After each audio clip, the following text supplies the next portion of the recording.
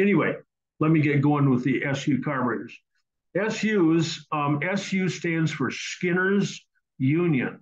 Skinner was a family.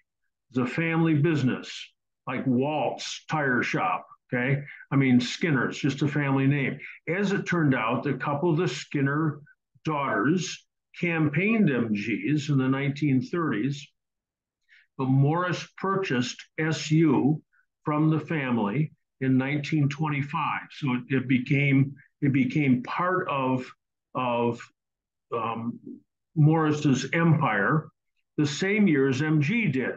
If you adopt 1925 as the first MG, and of course that's been dialed back now um, to to 2023. So this is the centennial year of of MG.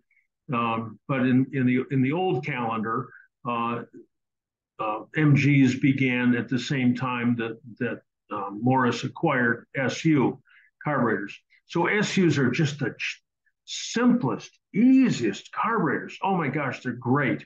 And the ones that we deal with, the three different SUs that we deal with, um, I could push it if we're talking about Farina Magnettes. Who's ever seen a Farina Magnette, unless you live in San Diego? Um, um, anyway, the Farina Magnettes use HD carburetors. But the, the first carburetor that we see after, after the war, before the war, is the H type carburetor. That's a horizontal H. It's just called an H carburetor. Then, beginning in 1962, um, the body of the carburetor was shortened up.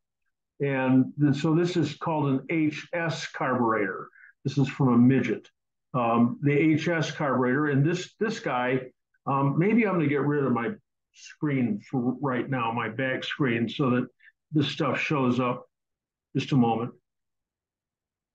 So I got my real crappy green screen, but at least you can see it now. So here's the here's the uh, um, the short body, mean, meaning the the distance from the mounting flange to the air cleaner flange is is uh, is shorter than the H-type carburetor, which is which is considerably longer.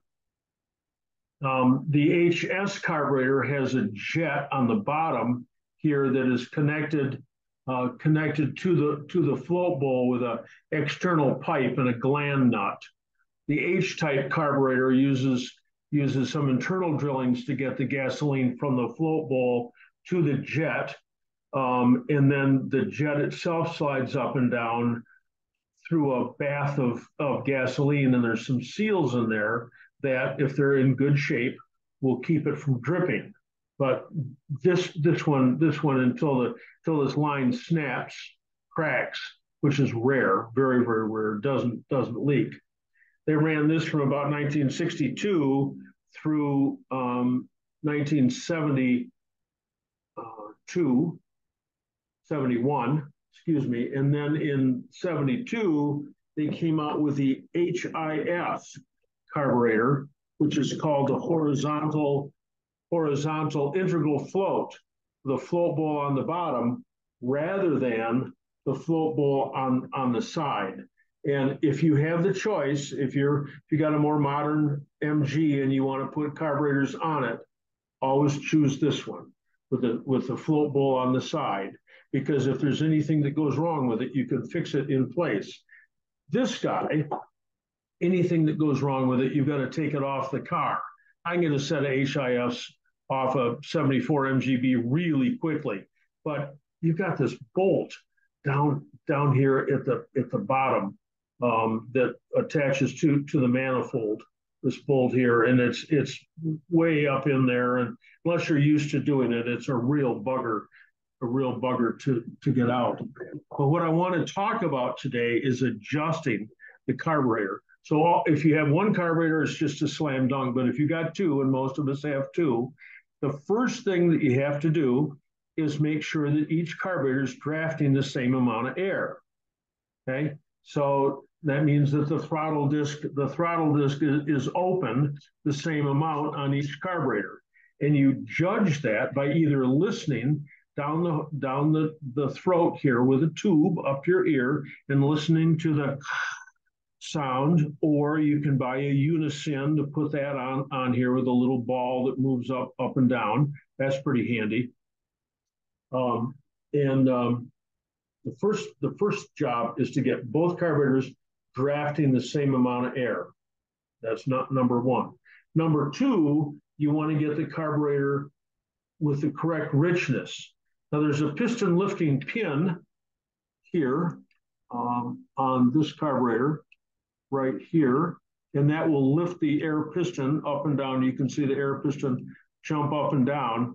But eh, when you're doing it by hand, when you're doing it on a tune-up, it's it's hard sometimes to judge when this hits the piston. And what I prefer to do is to take a screwdriver, put it down the throat, turn the screwdriver just slightly, just a flat-bladed screwdriver, turn it and just turn it just just barely, barely, barely lift that air piston.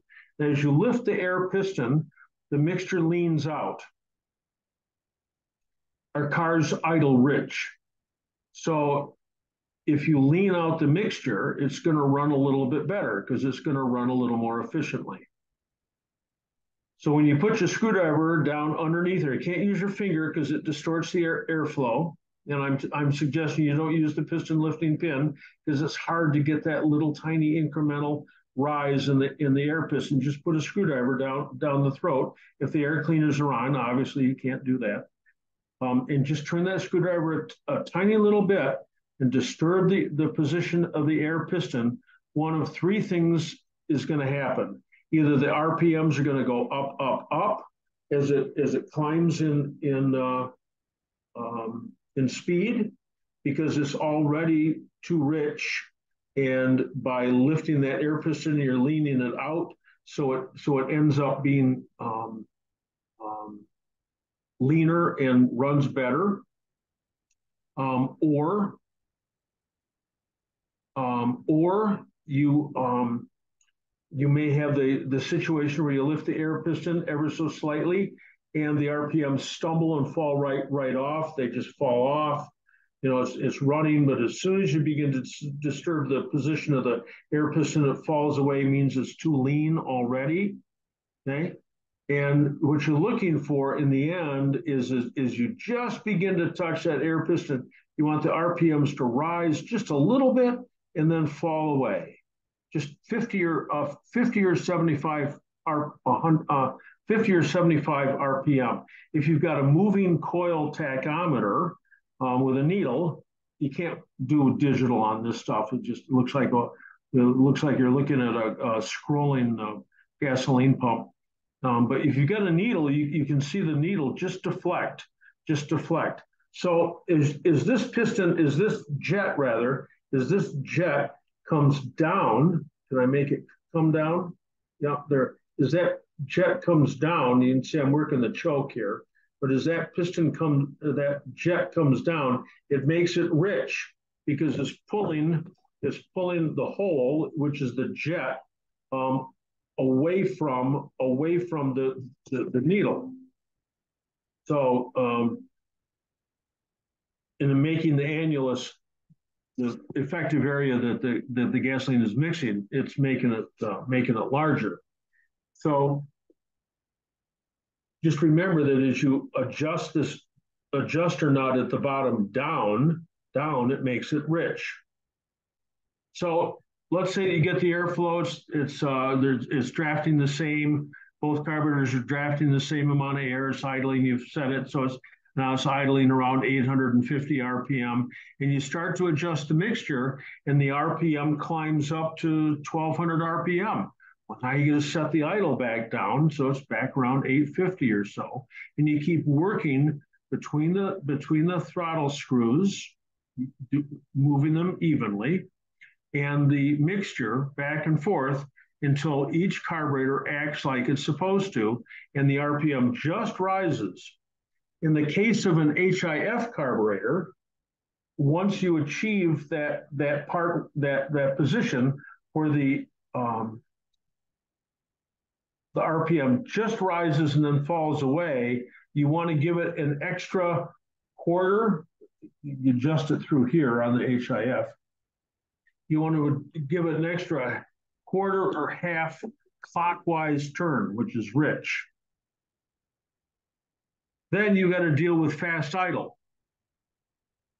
So down here, you can see that that I've got this is the throttle, this is the throttle, but the the um, the choke over here has a cam, and as that cam begins to turn, it'll also turn the throttle. And you want both carburetors to draft the same amount of air when it's on fast idle. So if you're just doing it by yourself, maybe you go inside the car and you pull the choke out until it's running the fastest. What's it running at? 900, 3000, whatever. Adjust it till it's running the fastest. Then go back around to the carburetors with your Unisyn or your listening tube and set each carburetor so that the draft is the same, the amount of air going through them is the same, and it's idling around 1600 RPM. Then you can shut it off. Now there's an interconnecting link that goes from, from uh, the, the throttle on one, is the MGB, the MGC, later midgets.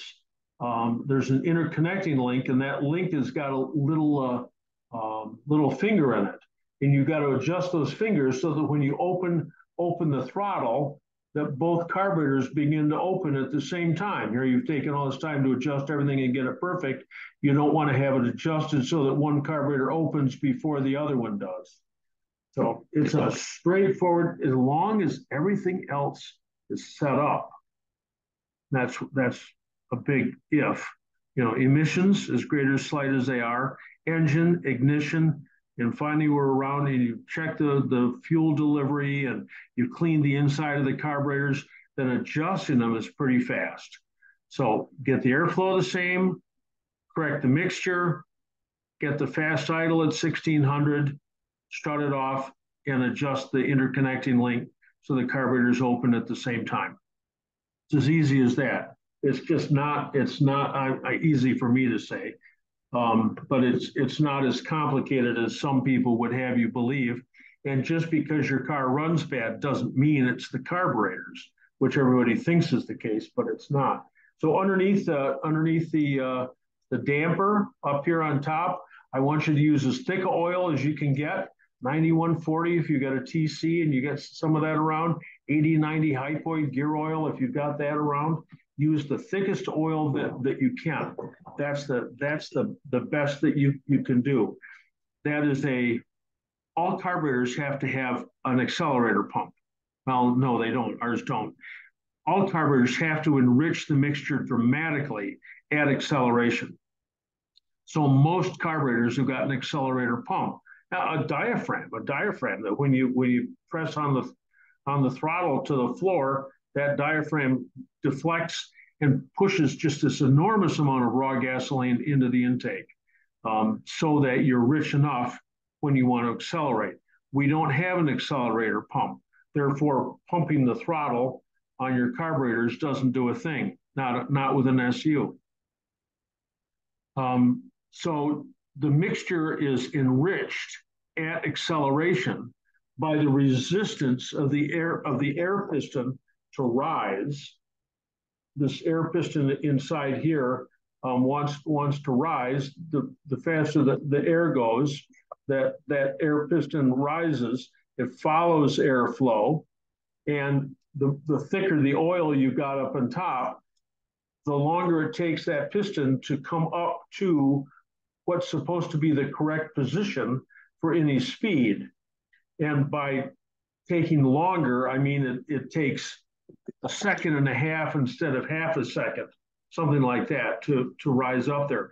During that time, the venturi is held artificially small, and the, the uh, mixture, therefore, is going to be a whole lot greater uh, because the, the vacuum at the jet is going to be greater. It's going to suck more gasoline out of the jet because the air is going faster across the across the venturi. So that's about it.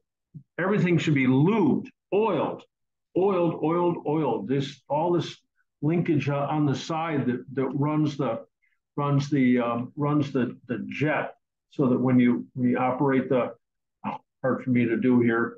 This is not, I've, I've got to get a better camera. Um, to get this uh, jet to drop here, um, that snaps up pretty well, but all this linkage in here, just oil it, oil, oil, oil, make it, make it drip. Everything works better with oil on it, for sure. So anyway, hey, yes. Uh, this is Judd. You were holding that up a minute ago, and you turned the uh, enriching uh, nut, I guess you call it. And yeah. this is going to be a stupid question, but everybody says turn it clockwise for this and counterclockwise for that. And what I don't know is that clockwise look, yes, clockwise looking up. You're looking up or you looking down? so, yeah, that's what I want to know. Un- unscrew it to make it rich. Unscrew it to make it rich. Move it down. Un- unscrew okay. it to make it rich. Now, does the does the nut move or does only the jet thingy move? The the nut, shice. Uh, the the nut moves. I, I don't think I can you probably I can't probably show you here, but this this nut, I'm screwing I'm unscrewing it right now. Um, and that's making it go richer. That's that's pushing the jet down.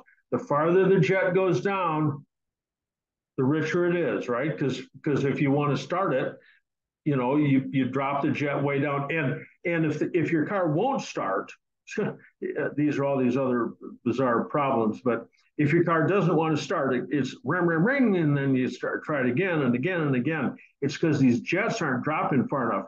If you drop that jet far enough, um, you know, I mean, look at how far that's dropped, and that's that's pretty good. Sometimes they drop half an inch, you know, and if you drop it that far, it'll start just like that. Oh my gosh, it'll start just in a jiff. So as long as the jet is dropped far enough, Hey, John, can yes, I sir. Uh, offer something? Yes. I uh, just got my carbs rebuilt by Joe Curto and sure. Uh, did a wonderful job. And mm-hmm. I got him on my A yesterday and got things going on it.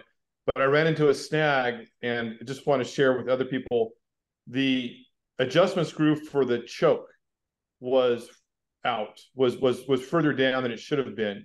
And when I was trying to adjust the carburetors, it was interfering with the adjustment because it was enriching the mixture on the front carburetor. These are HS carburetors? H4s.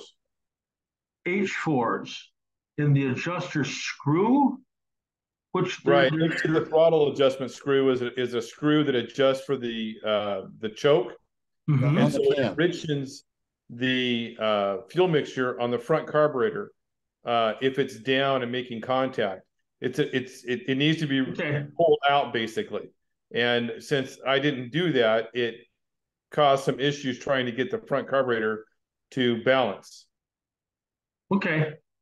Okay. So you're you got T a T, set of T type carburetors? No, they're they're SU4 H4s for a 57 MG 1500. Okay. All right. Okay. But the, but the choke is on the front carb, and if the screw is too tight, it, it activates the cam too soon. Exactly. And so the, the I was I, I couldn't get it to run right until I figured out why, because it wasn't the riching adjustment screw on the bottom that you're showing, uh, the the nut. It was actually the screw that was causing me the problem. Okay. So on an MGA, there is a cam there that has three positions.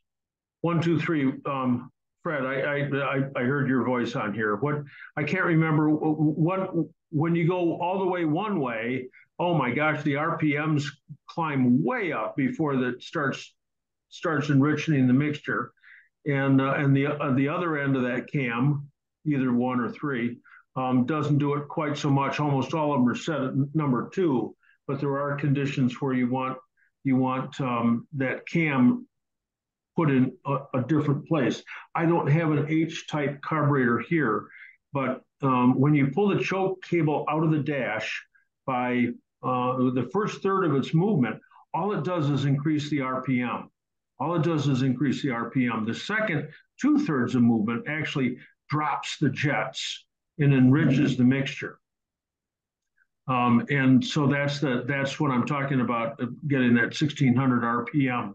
Right when you pull it out and just hit the max on the on the uh, speed of the of the car uh, of the of the idle, you're looking for 1600 RPM. But yeah, you want to back all the all the adjuster screws off before you get going. Just just to make sure nothing's in the way. There, there's other bizarre stuff. I mean, there's just there's no end to the craziness that, that can happen. On the um, 68, 68 through 80, there's um, you can see this. Uh, I uh, yeah, well, I, I got rid of my here. Let me go back to my my green screen. Um, you, you can see this valve, the spring-loaded valve on the on the throttle disc. So that's 1968 through 1980. And that, that pulls open uh, during deceleration. So you, the car can't slow down too fast. Sometimes those will come loose and cause the cause the car to, to idle really high. No matter you back off all the idle screws, everything still idling real high. It's because that that valve is is uh, pulling open. There's a bunch of uh, unusual things that can happen. Here's the Smith's PCV valve. Um, this is um, a complicated device compared to American PCV valves. Um, there's a one-way valve down inside here, and then there's a spring. The spring goes in on, on top, and then uh, then there's a plate, little plate, and then there's the rubber diaphragm. So whenever you buy one of these, buy two, carry it with you because you can't get one at Walmart. You could use a plastic glove if you had to, but if this if this gets too stiff or cracks, if it cracks, all of a sudden you can start uh, sucking an enormous amount of oil into the intake manifold. Um, that this is this valve is only used from 1964 through 1968. 1969 they changed the ventilation, um, but there's all kinds. That's that's why I said I just want to talk about the adjusting the carburetors because um, once everything else is all taken care of, the valve's good, that that valve doesn't leak. I mean, there's there's cool stuff like this, these old brass pistons, and I've talked to people before. These are for the real early cars. Um, they it was just cheaper to make them in brass at the time.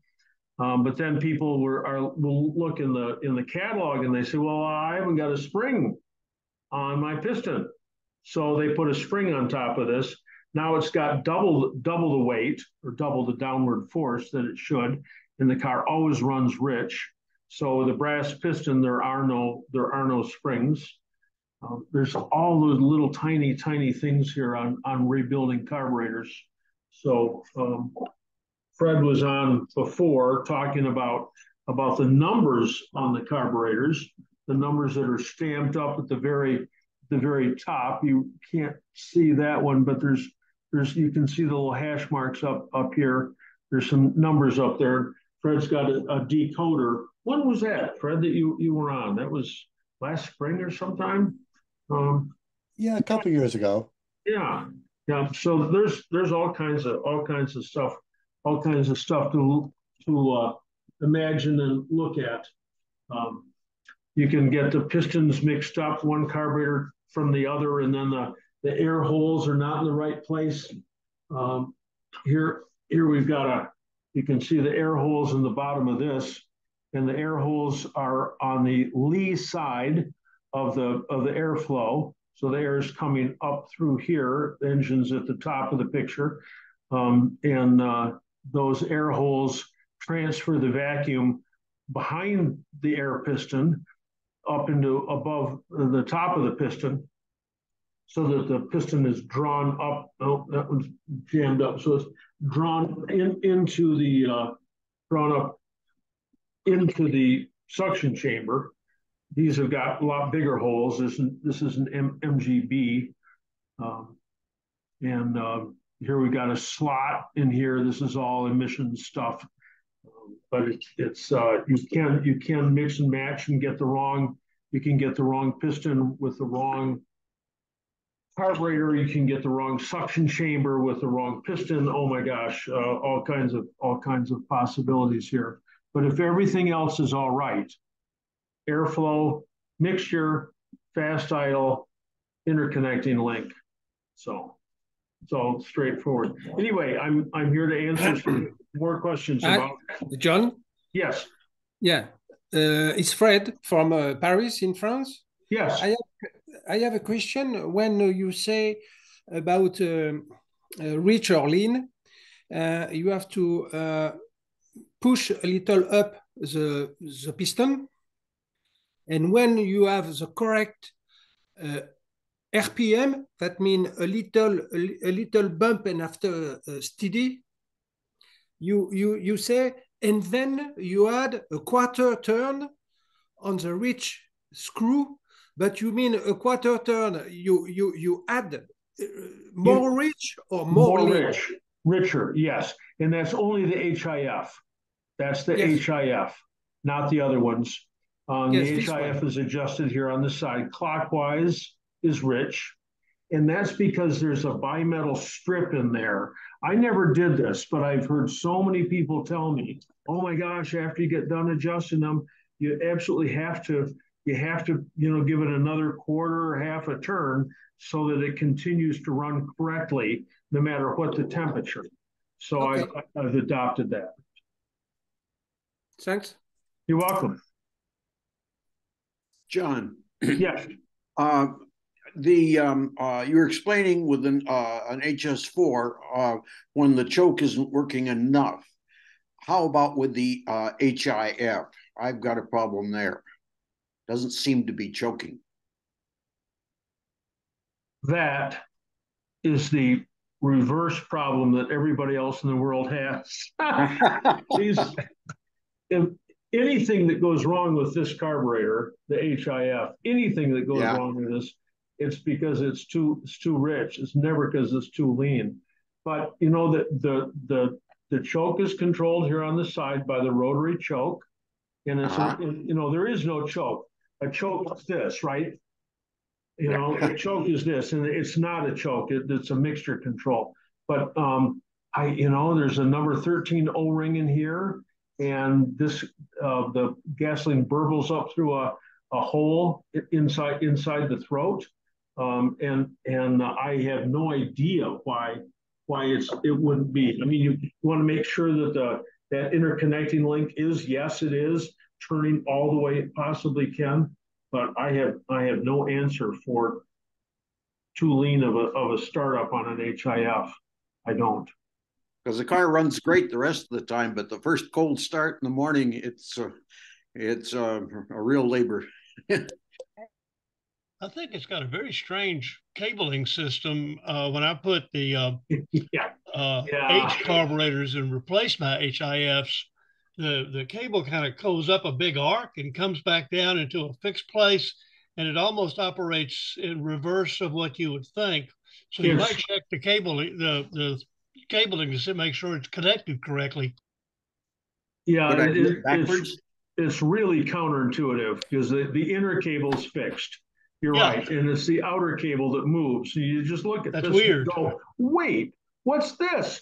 But there are other cars, Morgans. I think I worked on a Morgan once where the throttle cable also worked like that. I'm gonna I'm gonna hit the mute all here. Just just uh so I'm um, looking to see there mute all. There we go. I'm sorry. I had to mute everybody because there's some background noise. Um um,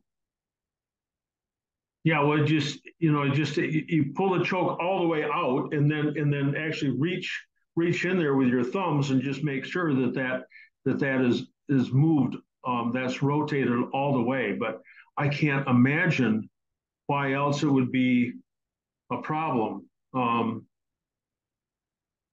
there, you you could you could experiment a little bit on this HIF carburetor if the uh, the vent for the float bowl is is here, so the, the the lower the lower of the two, this is the in in and out on both both sides here, and this guy here is the vent.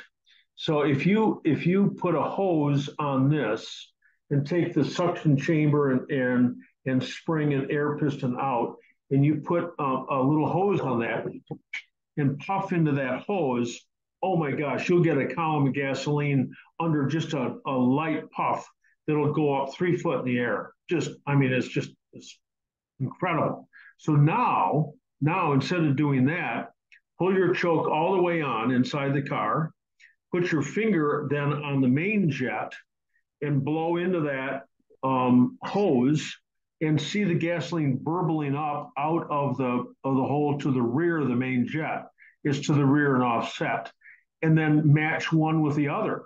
Maybe one of them isn't carrying any fuel and it's just got just one of them's carrying fuel and at least i don't know what the problem would be but at least you would then identify it to one one carburetor in, instead of instead of uh, uh, it, it being a, a, a mystery.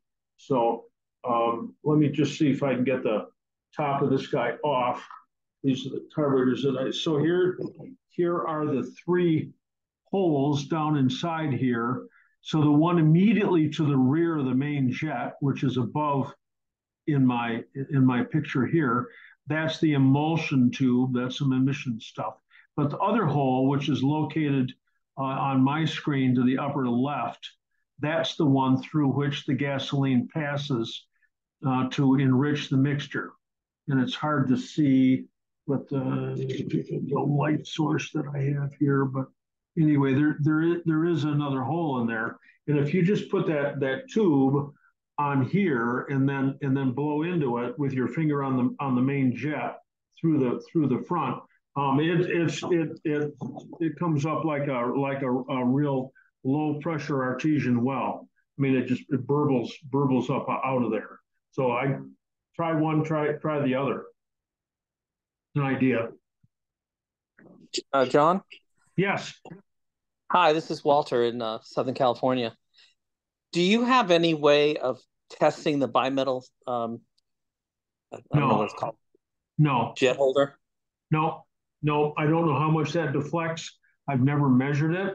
Um, Fred, you you ever done that? You ever you ever put put something in a pan of water and and uh, heated it up to see how, how much how much deflection it makes? Never tested them. I just assume they work. So yeah, so I, uh, I don't I know. Have, yes, uh, about the HIF4 carb. Yes, there is a sort of uh, a spring made of a B, B uh, metal uh, because temperature uh, influence the opening of the of, of the jet. Yes. Okay. So to to to start the the, the tuning of uh, the rich the to be rich or lean, you have to put the the top of the of the jet just flush to the hole in the center. Yes. Rough, roughly, it is two two turn from uh, the stop. Roughly. And after you adjust from these two turn, if you have to screw in or screw out to, to adapt your uh, the, the, good RPM and to have, as you said, a little bump in the RPM and then come back to uh, steady. Yes. But I, I never measure. I never doesn't quite um... the, the, spring. As long as uh, you check it uh, when it is fully open, that uh, when you screw in, for example, you you push up the the jet in the carb. But when you when you screw when you screw the screw in, it drops the jet um, because it makes it rich. Clock clockwise is rich. Clock. Uh, yes, you are yes. right. If you yes. screw in, it is more rich, so right. you go down. Sorry. Right. You're, you're That's okay. Sorry. Yeah. So I always start those right right at the. Um, I don't start them flush. I always start them maybe two. Maybe you said that two turns, um, maybe two two turns below flush. But then right away, as soon as it starts, you can start fiddling with a mixture. And because and, because I have I have a document coming coming from the SU carb from from England, mm-hmm. in which they explain for each carb uh, how to do the tuning, the correct tuning and and they, they explain you put a, a, a rule a steel rule to see if you are fully fully flush perfectly flush and after you adapt uh, the richest because if you don't start uh, flush and then you do you you uh, you screw two turns you cannot start you need to do your two turns and after you can start Okay. The um the bimetal strips I had an issue with um uh, finding them for quite a while. Um, I had to um, uh, had some pinging problems that wouldn't I couldn't clear up, and um, you know I started measuring the jet height um, and you know uh, setting the jet height by uh, with a, a, pair of calipers, and every time I went in there, they were at a different place. Um, and yeah. I always check them, always check them cold. So I put a new pair of them in, and the problem is gone. Interesting. So there is a problem with those. Okay. There can be, yes. Well, okay, that's what I meant to say. Um, so that's that's that's something that's something for th- those of us who are who are like are really really intense on this to to put them in you know to to take them from from zero to 100 or from 32 to 212 depending on which system you're in and just see what happens and just see how much deflection there, there, there is. That's interesting.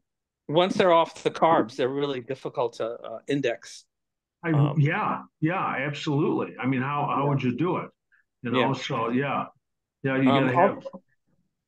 Also, another point on the HIFs, um, the needle is quite quite a bit recessed into the piston. Yeah. So setting it flush is probably pretty close. I mean, I think I'm running um, uh, five or eight thousandths below um, below uh, the bridge. So this is this is the this is the needle, and you can I don't think you can see here, but this the shoulder of this needle, the shoulder of the needle should be at the shoulder of the depression of the slot. This is just this is almost exactly correct.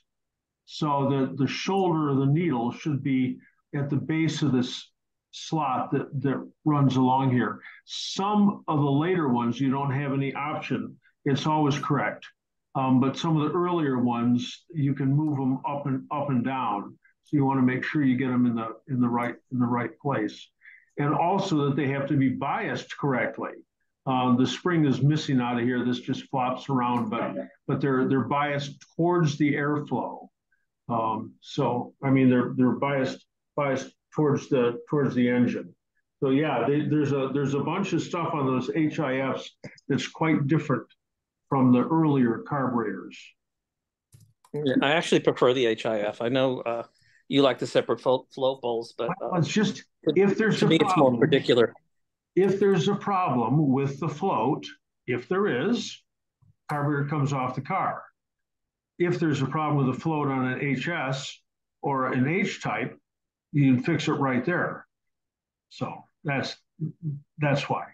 They, that, I, I agree there, but the uh, okay. I find the uh, HIF in general is more reliable. Um, I have less less of a need to go in there. Okay, let's go. So, yeah, thank you. I uh, hope to see you when you're in California. Yeah, I'll be in uh, LA. My daughter lives uh, at the base of Griffith Park, but uh, I'll I'll I'll send a note out uh, before I go out. So cool. Okay, great. That gives you the, the southern the Southern California MG Club is having its meeting on the fifteenth of October.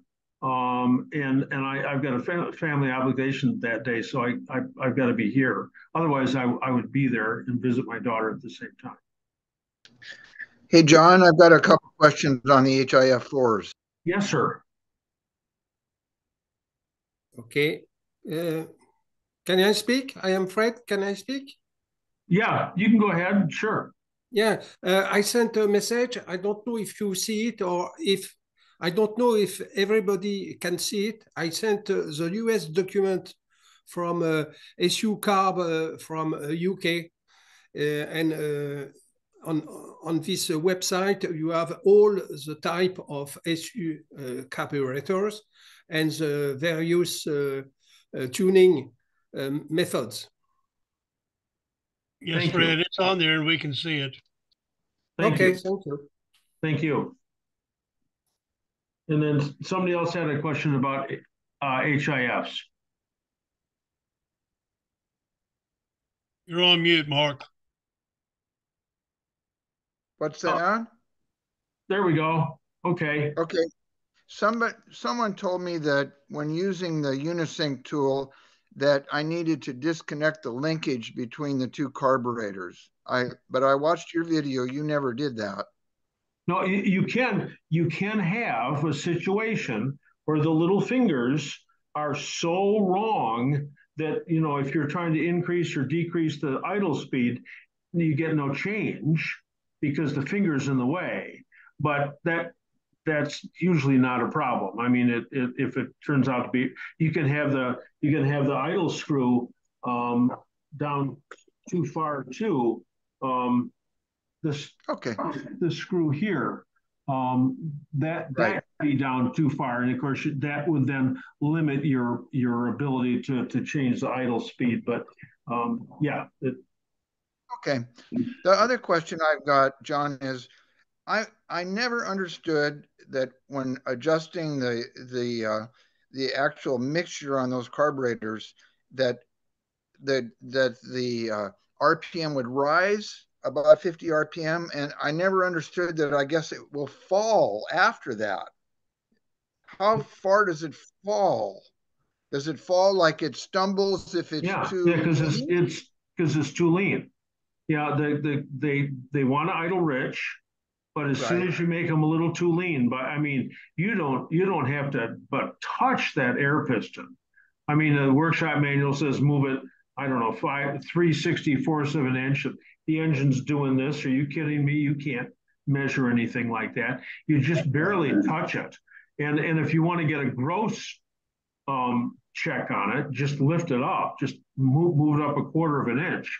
You know, I mean, that, that'll tell you if it's too rich because it'll keep the RPM will keep going up, up, up. But just, just as you touch it, it should just rise and then, and then it falls away because it's too lean. It doesn't want to run there.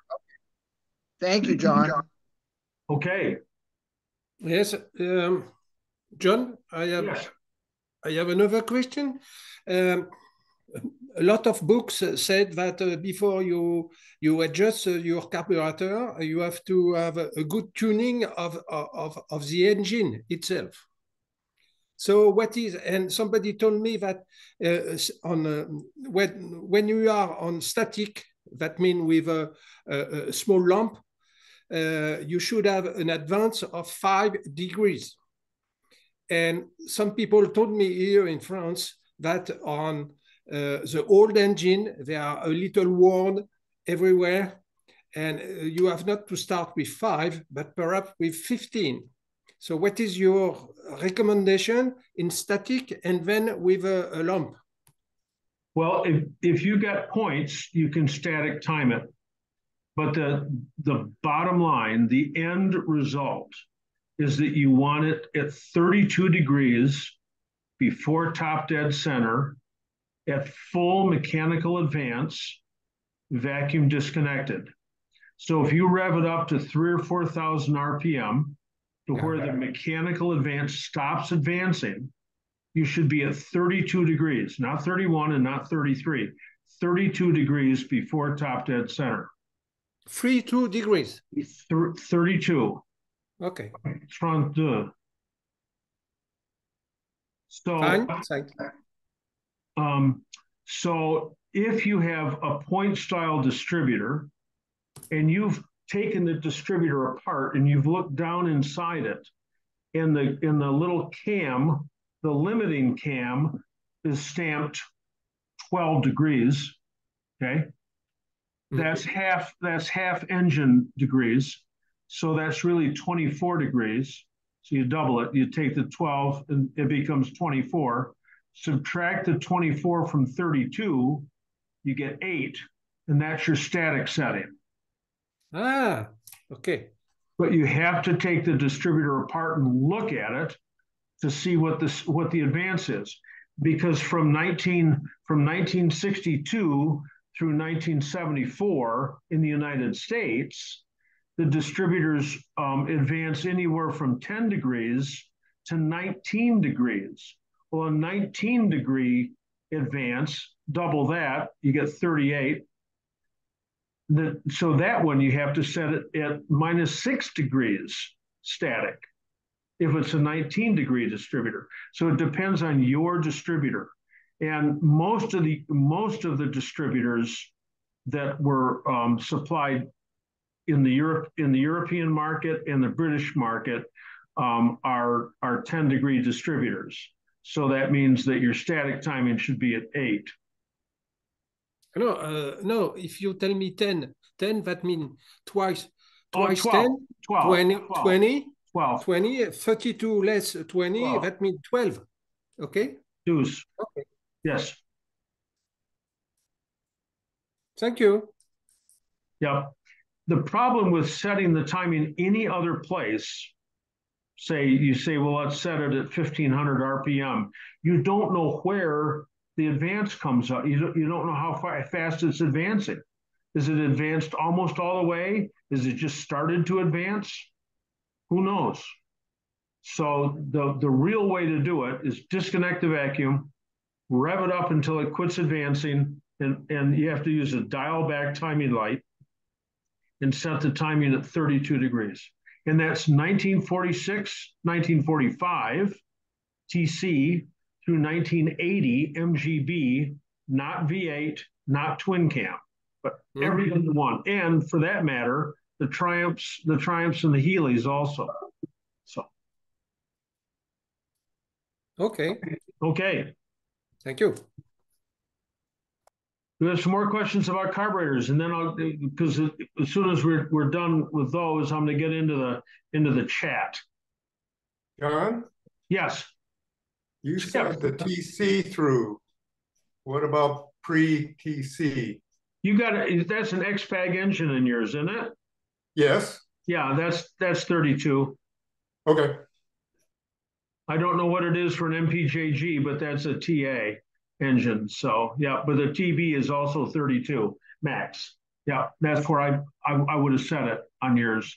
And and um, uh, if you don't have a dial back timing light on a T type, that 32 degrees is 1.004 inches ahead of the real timing mark. So you, in inches as close as you can get with a paint pencil, you know, so you just lay out an inch ahead and that's that's your maximum timing. But but most T types you can you can set them static. You just r- roll them over to, to top dead center and just do it static because the, the advance on the inside of the distributor is 16 degrees, which means 32 on the crank. So, uh, John. Yes.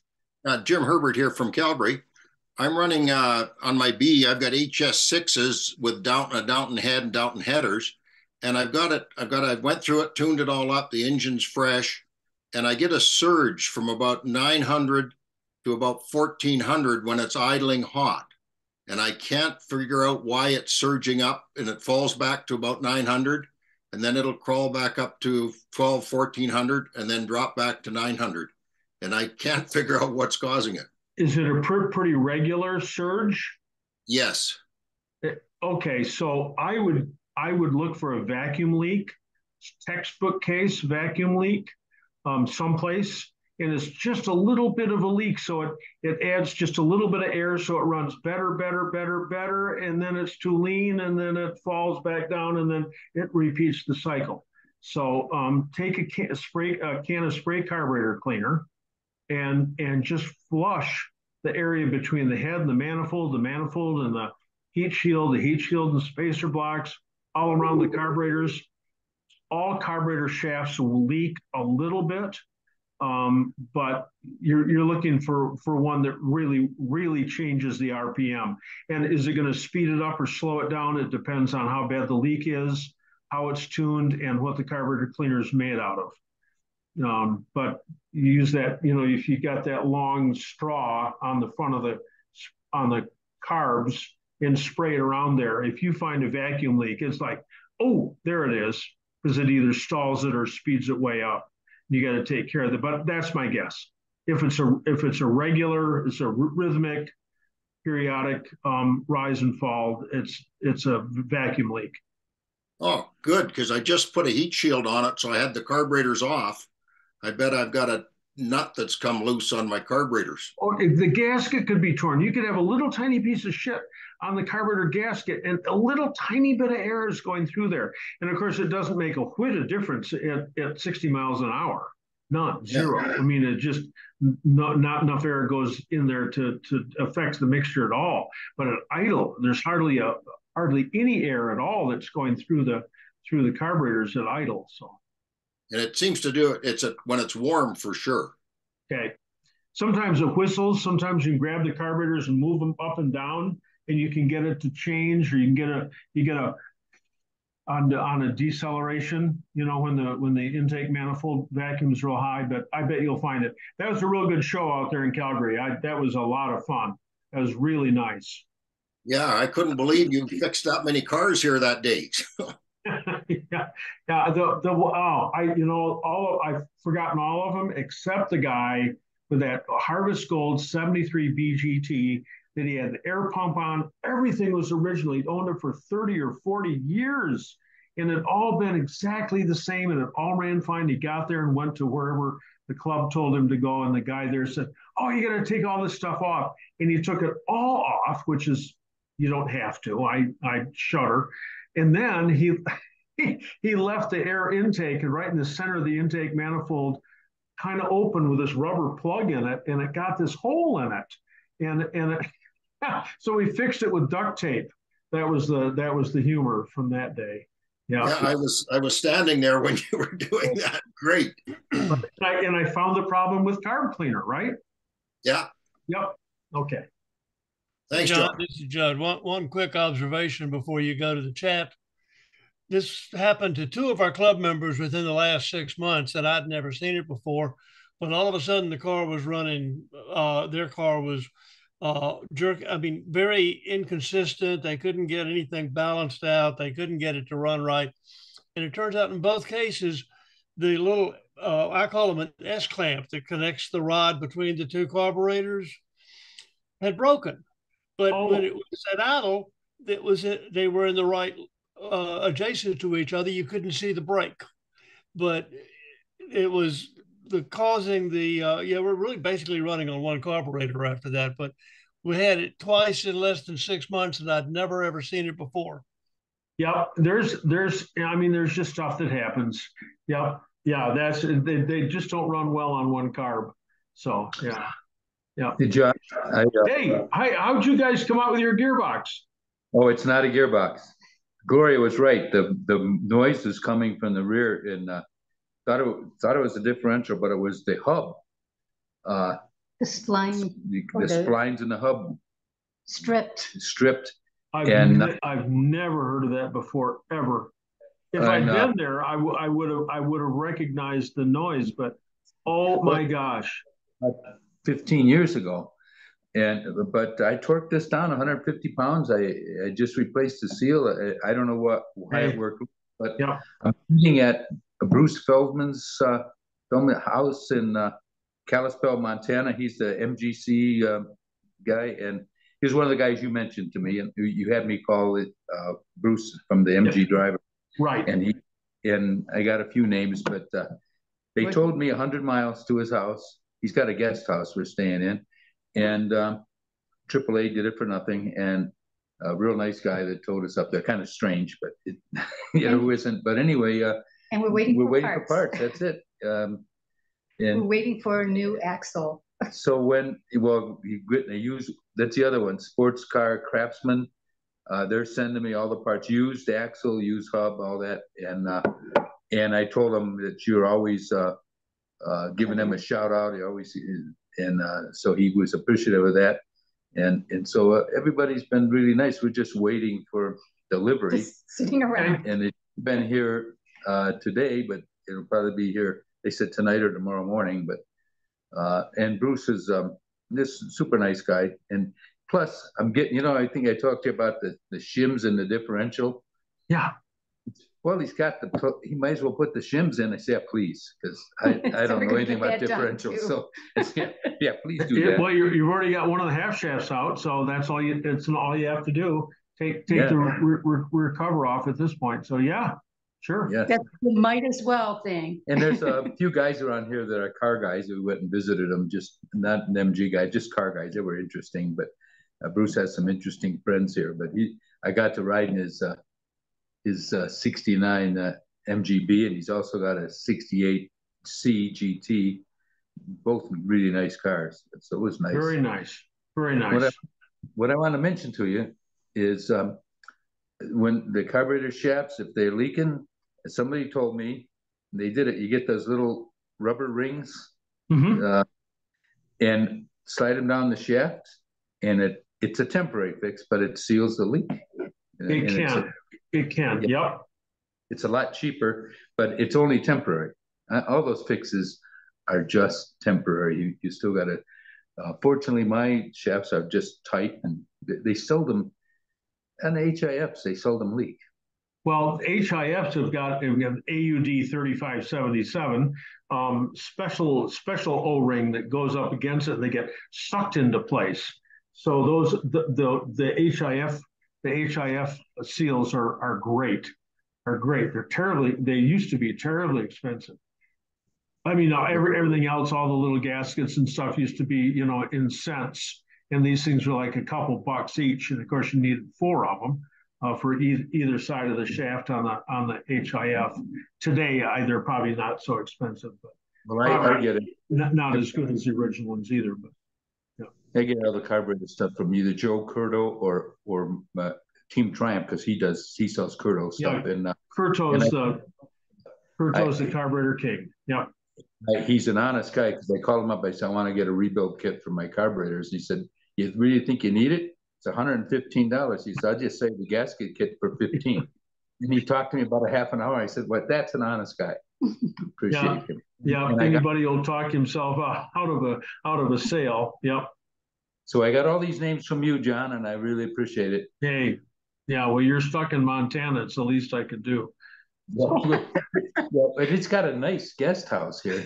Yeah. He's Hey, I nice, nice, very very you- sweet. stuff. But uh, anyway, I appreciate that. I don't want to take up any more time, but Okay. I mentioned, I know you wanted to know. We took some pictures. I'll send you some pictures. Yep.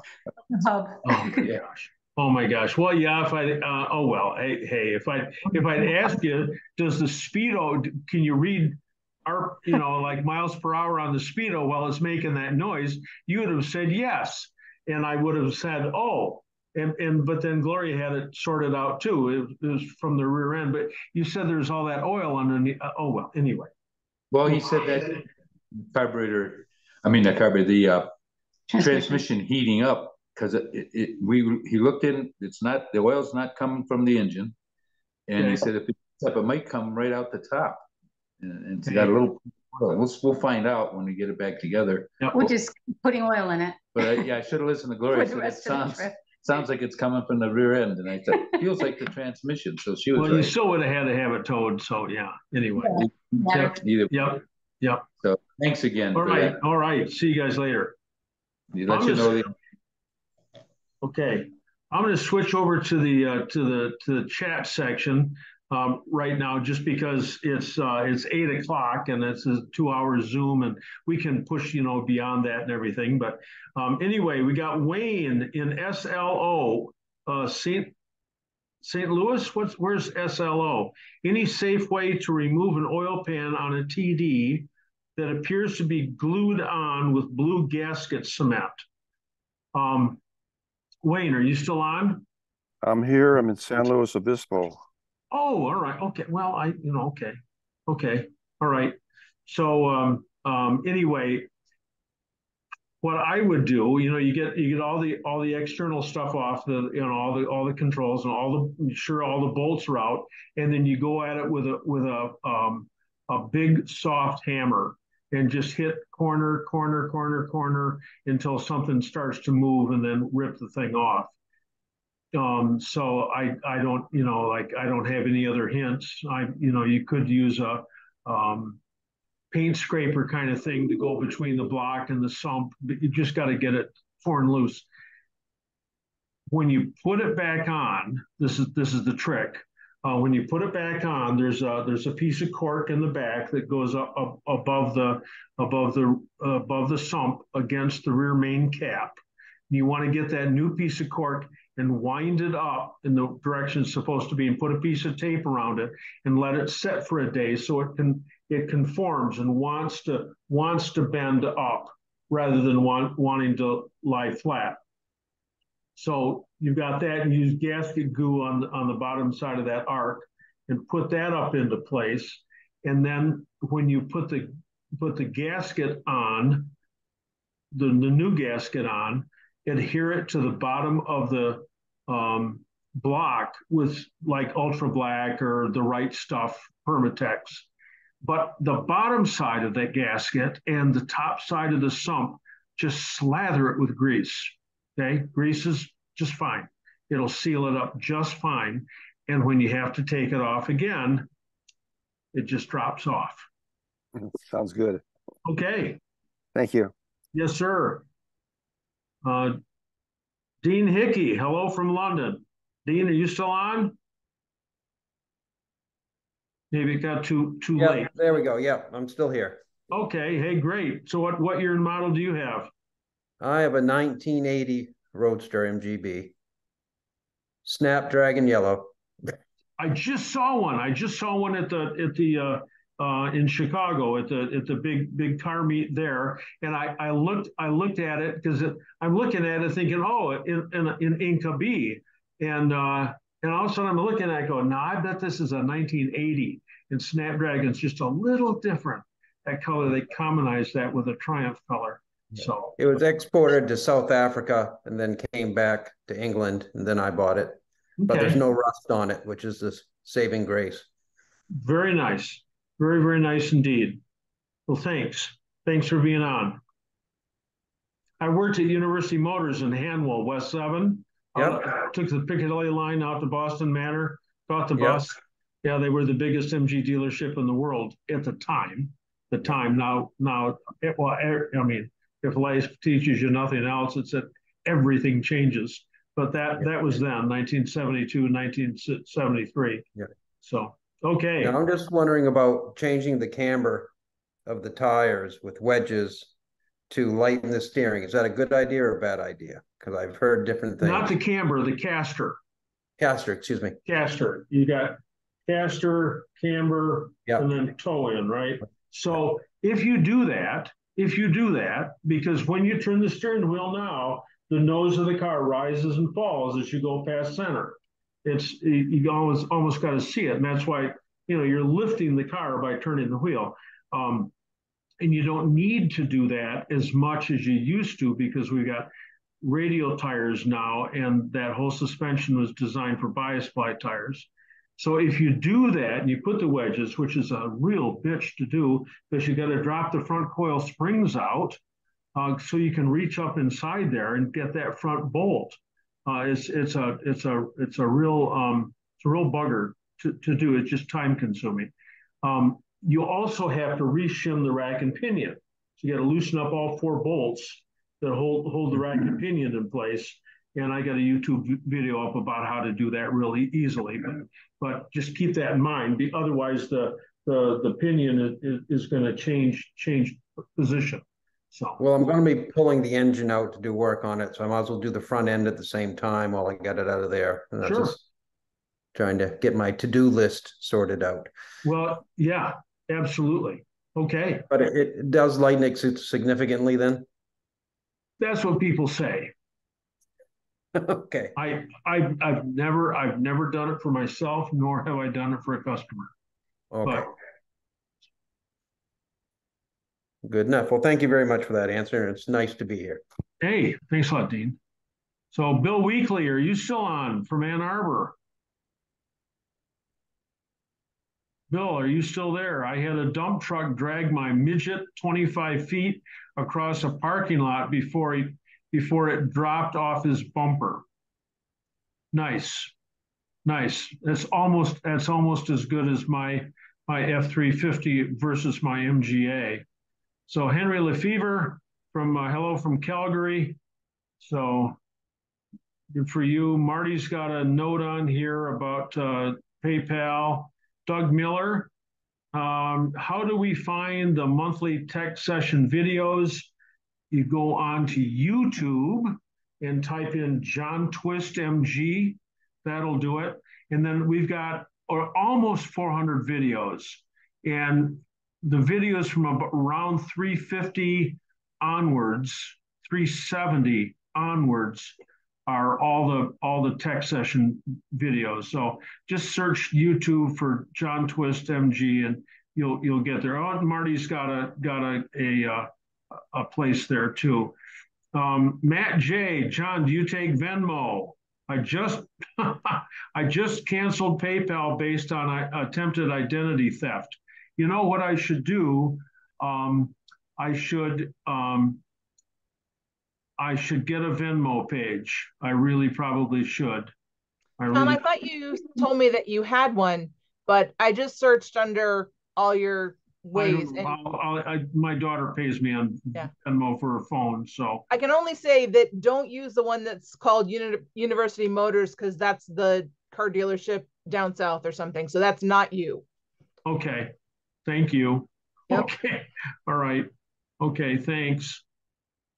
Uh, Don Bueller, what are the signs that your SU needs a major rebuild or the need to buy new carburetors? First of all, don't buy new ones. Rebuild your old ones. They're better, they're cheaper, less expensive, not cheaper, they're less expensive. What are the signs? Well, remember, I, I don't I don't have this in a in a handy little um, um, thing like I, I did with uh, like an engine. You know, there are five factors that determine the condition of an engine, but there must be there must be some factors that that that have to do with your with your uh, carburetor. If the shafts are loose in the body, of course, you can just reshaft them, take them off, and put new shafts in them. But God, if you're going to do that, you might as well get new jets and new needles. How can you tell if the needles are worn? You can look at the needle. You can look at the needle, especially spring-loaded needle, um, from uh, spring-loaded needle 1969 through 1980. And if you see a ridge on the needle, I mean the needle the needle, here's an SU needle here, you know, but if, if you can see that that needle has a, has an actual uh, divot in it where you can catch your fingernail or something up, up in it, it's really worn. Um, so, and, um, uh, what, what about the, where the the jet goes up and down the, the, the column in there. What, what year are, are we uh, 52. It, or T, it, TD. Yeah.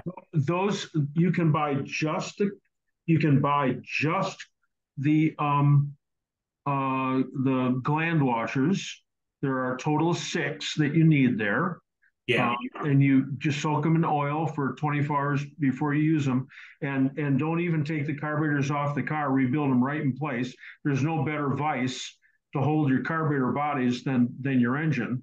They they don't go, they don't flip around, they don't go anywhere. Uh, you can just put those those in, and that'll take care of it real easily. You want to take your jet, the outside of the jet, and if you got a buffing wheel, and buff it up and make it really really nice and smooth and slippery. But I, I if that's the only problem you got, and that's gasoline dri- dripping out of those jets, I'd go ahead and and um, just change the O rings.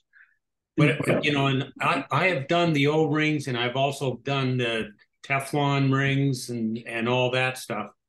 And uh, the Teflons did stop some of the leaks, but uh, you know the the cork ones they leaked really badly. So I started to think that maybe it was the the brass stuff that. Uh, no, it's not that. But the the um there there are two type there are two types of of those cir- those circular uh, cork rings. One's just plain old cork, and the other's graphite impregnated. So yeah. if if you always want to get your your gaskets from Joe Curto, he's got a website joecurto.com. Um, but if you soak those in oil and you and you buff up the you buff up the jet first, so it's nice and smooth. They they just they don't leak. So I mean that's my experience. Okay. Thank you, John. You're welcome. Where where are you calling from? Um, Salt Lake. Oh yeah, all right. Out here in the desert. Yep, yep. That Salt Lake's considerably smaller. It was since I was out there in 2017. Um, I, you, you, we had to drive on a little causeway over to the island where the An- Antelope Island, something like that. Yeah, you can now actually go by land. I mean, it's the lake has receded so much, but it's come up a little bit. But you can go from island to island if you have an e-bike or something, and and uh, actually see some amazing, you know, things out there. I bet. I bet. Yeah, beautiful place. Okay, Chip, uh, Eurykio, John, could you let us know yearly when it's time to make a contribution? Sure. Sure. Be happy. Yeah, I, hi, John. I can never remember when I made a contribution. So, is there a way to let us know? um, well, you can go back on your PayPal and you can, you can look there and see what it is. Some people some people um, put up a, a regular payment on PayPal. I mean, I got I've got some people that that pay me um, two two dollars a month. You know, I've got other people that pay me a whole lot more per month, just on a regular basis. So th- that's what I do with Wikipedia. I think it's I think I, I give them five five bucks a month. Give me more than two, but um, um, but I, Wikipedia, uh, I, that's just a uh, just a, uh, uh, some sort of instruction I made with PayPal to to pay them on a regular basis five five bucks a month. I use Wikipedia all the time. So, okay, It was the easiest thing. I had the same problem, and I just divided it by twelve and told PayPal to do it every month. Yep. Okay. Okay, from Scott Tant. Please say again the oil type for the SU. So the oil that goes in the top of the SU, the oil that goes up in here, the workshop manual says use. Oh, and I was talking? Yeah. Oh, I was talking to him. Oh, okay, good. That's what my mute all button's for. Um, um, the workshop manual says use engine oil, right? Use engine oil, but this is a this is a brass, this is a brass valve. It's a, it's a valve. And this is a steel, uh, uh, a steel cylinder. So when there's oil in here, and, and of course, this doesn't go up and down, the piston goes up and down, it abrates the inside of the steel because dirt gets caught on this brass and scratches the inside of here, scratches the inside of the cylinder. Therefore, the inside diameter over a period of time becomes larger. So the cheap trick to take care of that is to use thicker oil. So the workshop manual says use engine oil, 2050. I use 80, 90 gear oil. Now, Glenn was on from Glenn's MG service in Tampa. He would remind me again that the viscosity of 80, 90 gear oil and 2050 is the same because they use different viscosity standards. But feel it, look at it it's thicker. I, I swear it's thicker. Um, I've never tested it myself. I should do that some, someday. Or use 9140, but you want to use thick oil in there, not three in one oil, not ATF, not brake fluid. We saw that one time. Um, so anyway, and how to how to check the oil levels? How is there too much or too little? Just generally speaking, on an SU, you never have to fill it it once you've got it in there, it doesn't go anywhere. But when you push this this piston down in here, as long as you can feel a restriction uh, from the oil just before the threads start, that's plenty. If you overfill it, and all you have to do is fill it right up to, to the top, the excess just pisses out and oils the uh, lubrication or uh, lubricates the, the linkage unless you get a real early, um, real early H-type carburetor, a dustless carburetor on an MGA, and then it gets sucked into the airflow. So you don't ever have to check the oil. If you if you think it's too too low, just um, um, um, just fill it. Just just put put more more into it. So, oh, let's see. I just missed where I was going. Just a minute here. I lost my place on the chat section. Um, uh, just a minute here. Just a minute. Here we are. Oh my gosh, come on. I somehow I got to the end rather than to the beginning. Summer party. I'm back to here. Come on. Here we go. Here we go. Got it. Got it. I'm back to let's see. Can you oh no can you discuss changing the needle? The needle in the carburetor. Sure. How often should you do it?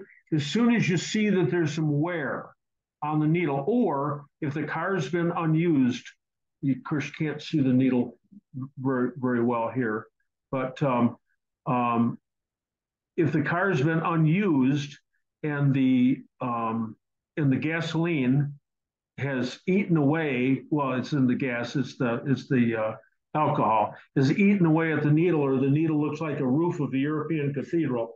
Um, then it's time to change the needle. But the only thing you have to do is make sure the shoulder of the needle is in the right place. On these carburetors, the shoulder of the needle is, is in line with this dip, but with the earlier needles, this, this needle, the, the shoulder, the shoulder of the needle, where it jumps up to an eighth of an inch, is flush with the bottom of the carburetor. So it's as easy as that. The spring-loaded carburetors, um, the uh, 69 through 74, spring loaded needles. You, you can't, you cannot make an error and, and get it loaded the, the wrong way. There's a chamfer in the side of the barrel. Hey, John. Yes. What's that little brass thing that's on the the the pump there? I mean, on the that you just showed us. There's a little brass plug there.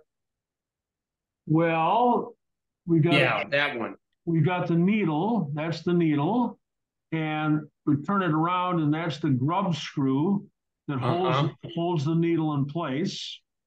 And then on the underside, there's this little thing up here, which on the later carburetors is plastic, this little round thing here, and that holds the holds the air piston above the bridge. I mean, incrementally, like a one sixty fourth, one 128th of an inch or something, just barely holds it holds it up up off the up off the off the bridge. So those are the only brass things that there are. And then unless you're talking about this, and of course that's the that's the damper. That's no. I was talking about the one previous to the damper. That that little brass plug there is uh they I see those on the bottom. Oh, on the bottom, yeah. That's yeah. That, that that's that is to hold the piston above the bridge so air can begin to go through there. Do they wear out? No. Okay. No. Um, e- even if you get excited and buff the pistons and make them look real nice, where's my brass piston? Um, even this guy, you can see that there's that the the raised the raised dot. Yeah. Right there. As long as there's something there, it's it's good enough. Okay. Uh, Dean Hickey, change in tire camber. We already answered that. Um, and Doug Miller's got a note from Marty. Um, and Meisel says, I'm just pleased as punch to be a member of your secret society. We've got even a more secret one coming up as soon as Marty and I can get it sorted out. Um, and uh, Marty's got some answers here uh, Bill Rosevere, at your summer party this year, there was someone whose rear engine block freeze plug had come out. Can you go over um, the detail of the quick fix for this? The size of the rubber plug, the size of the bolt, etc. So there are four freeze plugs or core plugs on an MGB or an MGA engine. Three of them run down the right hand side above the generator, um, uh, above the oil filter and the distributor. and one comes in from the back. These are where the, the sand casting was supported so that when the when the engine block was cast, the inside of the the inside of the engine block remained hollow. Um, so those are machined, and you've got these hemispherical plugs that are put into there and then squished. And when they're squished, they they uh, they jam out and jam up against the the uh, the base the base of the hole that's been been very carefully cut on the outside, and they have to be installed dry. Sometimes you see them installed with some kind of gasket compound underneath underneath the, the, the plug. Sometimes they're called core plugs or freeze plugs or Welsh plugs, W-E-L-C-H, after, after a guy named Welch. Um, so you don't put anything in there. You put them in dry, absolutely. And when you're building an engine, um, you put them in dry. Machine shop, if they put put them in, that's fine. If you put them in, you you've got to you've got to take that hemisphere and and almost and make it all but flat. And as you go a little too far, then it begins to to go concave on the outside. So don't go quite that far. Then take um, JB Weld and put it around the circumference of the outside. And JB Weld is real plastic. It, it moves, it runs. So um, when you're building an engine and you're putting the freeze plugs in, you support the engine so it's horizontal, and then and put this JB Weld on the outside of it. And and if it goops up a little bit or looks kind of crappy, you can sand it uh, after it's hard. And after you paint it, nobody will ever see it's there, and it'll keep the freeze plug freeze plugs from popping out.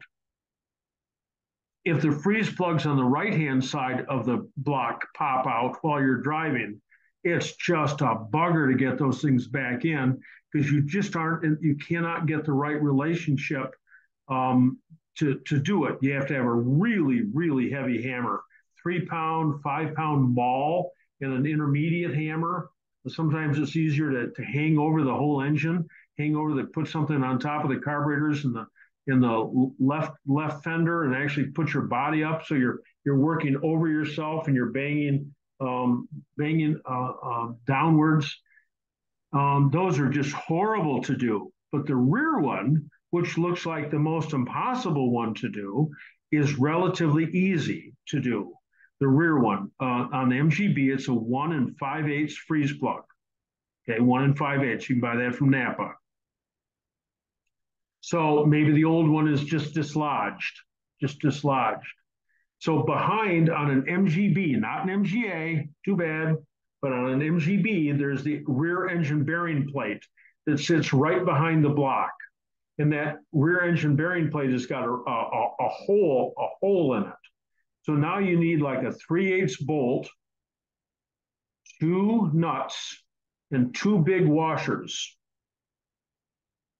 So you put the bolt through, you put the you put the put a nut onto the onto the bolt, put a big washer on, put it through the plate, put the washer on this side, put the nut on this side, and tighten up that tighten up that bolt until it presses against the freeze plug and holds it in place, and then lock down the the, the two bolts. Looks horrible. You never see it because it's way the on the end of the engine. But without that, you've got to take the whole engine out of the car. So three eighths, three eighths bolt maybe by one and a half, maybe a couple of three eighths nuts, a couple of great big washers to fit in there, and that will do it. And that's what Greg Glassner used um, to get his rear freeze plug back into place when his popped out when he was driving up from Cleveland to come to our summer party. Hey, John, this is Jeff. I don't know if you can see it in my picture. That's funny but uh, uh, the machine shop put the Welsh plugs in mine, but they forgot to dimple the middle one. And two things: one, you're driving down the road, and the guy behind you says, "I just saw the biggest cloud of steam I ever saw in my life." Uh, and you look at your temperature gauge, and instead of going to hot, it's going to cold because there's no water on the temperature pickup. But anyway, on the TD, that's on my TD. You drop the wing, you take the manifold off, you use a one inch solid steel rod and an eight pound sledge gently and you and it and you dimple that thing in it'll never come out. The um there are one two three there about five or six freeze plugs on that on that xpag block. And and um all but one of them are, well you can use a one and three eighths american plug. Easy schmeezy. Just easy. But that last one, they're, they're all originally, actually, they're all metric, but the one and three eighths works um, on all the small ones. But that big one, oh my gosh, there's no way. And the, the ones we used to buy from one of our major suppliers, they were so thin, I hated to use them. So I'd take a larger one, solder a bolt to it, chuck it up in the lathe, turn it down to the right diameter. What a lot of fussing around. But yeah, that's Judd. Your picture there is a is a, a true indication of how much trouble it is to change the freeze plugs. That's why when you put them in, you surround them with JB Weld. Yeah, I don't know about for the A or the B. Uh, hopefully, I'll never have to know. But Tom Lange sells very good quality uh, freeze plugs at a pretty reasonable price. Yep, yep, yep. So that yeah, that's uh, uh, Tom um, he, he pronounces it German, Lange, L A N G E. Um, L A N G E, like you normally pronounce it Lang.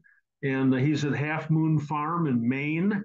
So you, you can find him. He's got a, a lot of good uh, T type T type parts. Yes, sir. So hey, John, about freeze yeah. plugs. Oh, Greg Glasser. Hey, there you yeah, are. Okay. I'm, I'm a guy. It's still in there too. Hey, well, it'll be in there forever. It is. I'm gonna paint it black. Um, but what I've done as far as the side ones, uh, the same, what's that, Dorman? Yes. I bought I bought one of their copper plugs. Oh. Have you ever used those? I have not. One and five eighths. They slip in. You hold on them with a one wrench and you tighten the nut with the other and expands the copper to fill the hole. Very nice. So I threw one in the back of the car just just in case. Yeah. You know, and and um, I saw Barney here earlier. He when I talked to him at your place, first thing he asked me was, "Was your engine just rebuilt?" I said, "Yes." He says, "Well, that's what happened. You know, they put new freeze plugs in, and they didn't do one quite right." And uh, I did call the builder, and he's pretty upset about it. But happens, you know. Yeah, it just and you know that stuff just does happen. And I seem to remember, did you show me your plug? Did I see your plug? yeah.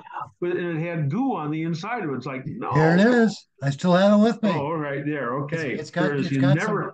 never put goo on the inside because when the when the goo gets hot, it expands and pushes the plug out.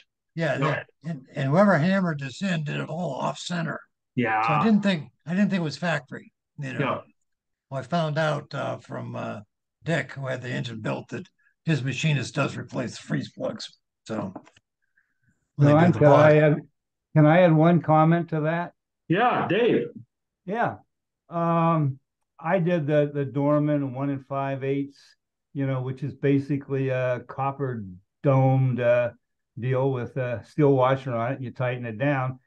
Uh, and the suggestion I got from Kent Prather was to uh, do the outer edge with Loctite green. Uh, it's Loctite thread locker green 290. Blue I, he was a pretty good guy to get a suggestion from. Yeah, uh, we had him on. Oh my gosh, two years ago, I think. Um, Kent, and uh, he's he's built a lot of a lot of really really good engines. He's a really good engine builder. Absolutely. So, but we we just came upon that uh, and that JB weld. It just it helped. It just helps hold it in there. And of course, the lower the pressure you have on the on the on the radiator cap, the the less problem you're going to have. An open system like a TD, I mean, it's real hard for those to fall out, except for Judd's, because uh, that that isn't pressurized. Um, in my MGA, I've had a leaking water pump for I think two or three years I don't even screw the, the cap on tight.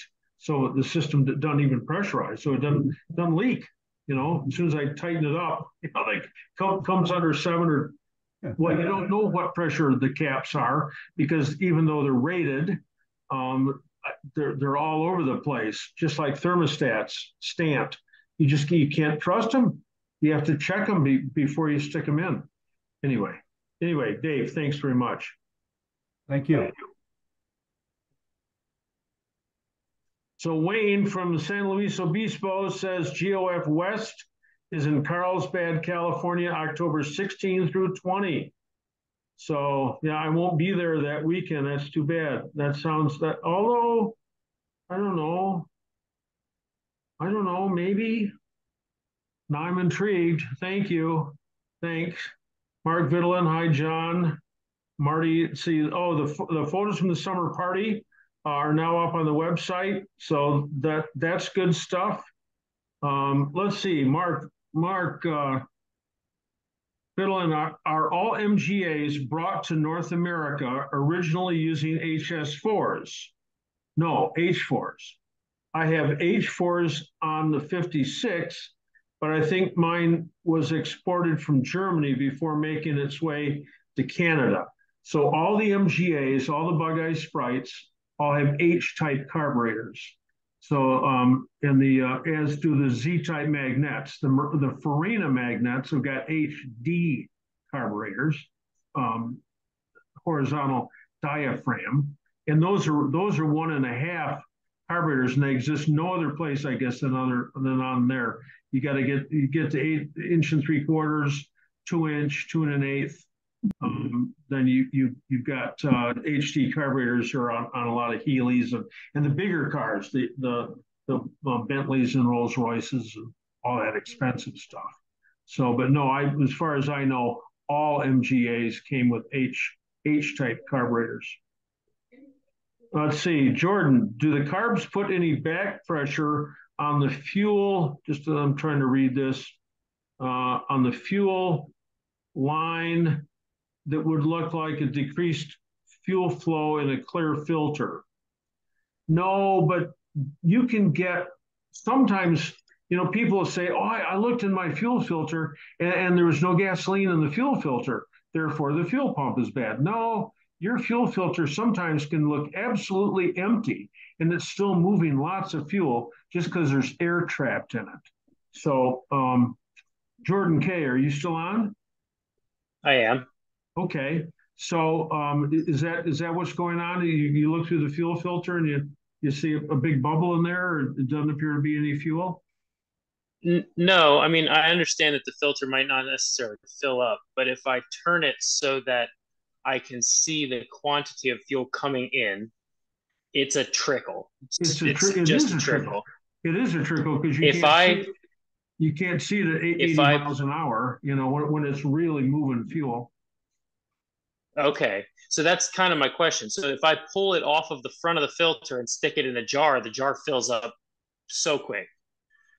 So I know the flow is there, but right. I would have thought that it would flow that rate it, um, until um, it met a physical restriction of fuel, not just the air in the filter. There's um there's no better explanation than than than to compare the flow bowl to the back of your toilet to the back of your toilet. And if you take that line off the back of your toilet, it'll fill up a gallon jug real fast, real fast, you know. But but the, the the the amount of water going into the tank in the back of the toilet is is a function of how far open the valve is when the when, when the valve is is moving. And at idle, your engine uses hardly any fuel at all, and and uh, it only trickles in there as it has to. So that's why you, you see such a small amount moving through the filter. Okay. I, I've been trying to hunt down a, a stumble that I get when I run sustained RPMs okay. for a length of time. And I didn't know if maybe my fuel supply was not enough. No, it's a 72. Uh, 72 MGB? Mm-hmm. Okay. All right. So um, First of all, look for the timing. And again, as I told the, the gentleman from Paris, um, that all MGs, 1945 through 1980, yep. vacuum disconnected, 32 degrees, full mechanical advance, right? you check that on yours just to see because boy, that can make all the difference in the world um, on how it is. Because if the timing's too retarded, you can get you can you it'll spit sometimes going up a real slight incline because it's too lean. It'll feel like you're running into a headwind or you're pulling a trailer. Just it just uh, it just not it won't it just doesn't go, you know. And it's because it's too retarded.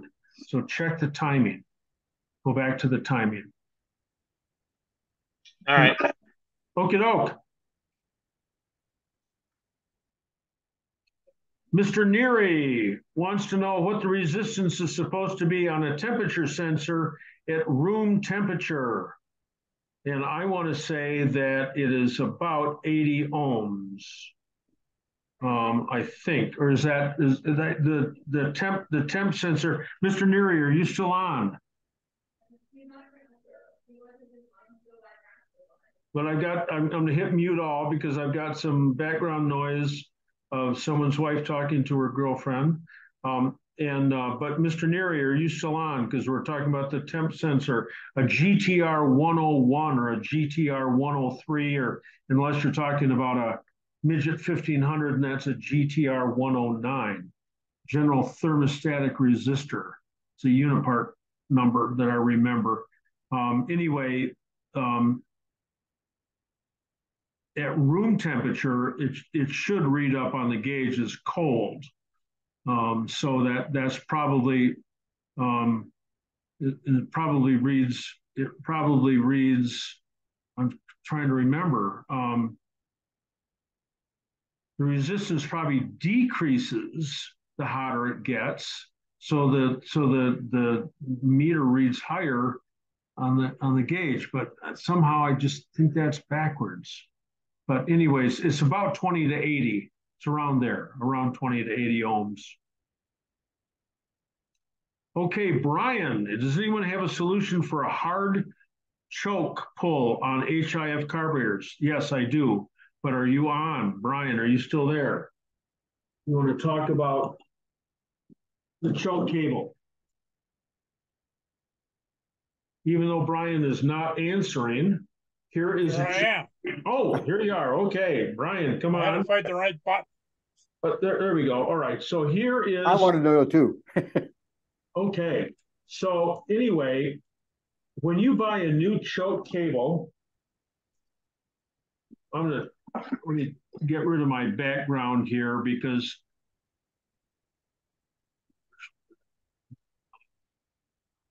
when you get your choke cable here and you get a new one, um, a new cable, first of all, it's supplied with a nut up here that's about a millimeter wide. I mean, it is so friggin' tiny that you can't hold anything with it. So go to the hardware store and buy, I think it's a 7 16 20 uh, nut that will fit on there, a great big wide nut. And then you can reach it with a wrench up, up underneath the dash. So once you get the outer sheath in, or even if the outer sheath is already in, and you want to make your cable tease, you want to make your cable um, work correctly. There we go. So you pull the cable out of the sheath. Easy for me to say. That isn't going to work here because it's jammed in the sheath somehow. I don't know where it's jammed. Anyway, I'll just talk about it.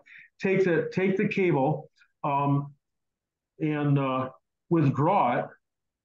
Um, you have you you may have to tin the end of it with with your soldering soldering iron and then snip it off so it isn't splayed so you can put it back down through. Anyway, after you pull it out, squirt some oil down inside the inside some sheath the sheath and then put grease on the cable as you feed the cable down down down in there and and uh, so that the cable itself get this out of the way so the cable itself moves nice and easily. I mean, you grab a hold of the cable and it, it just moves.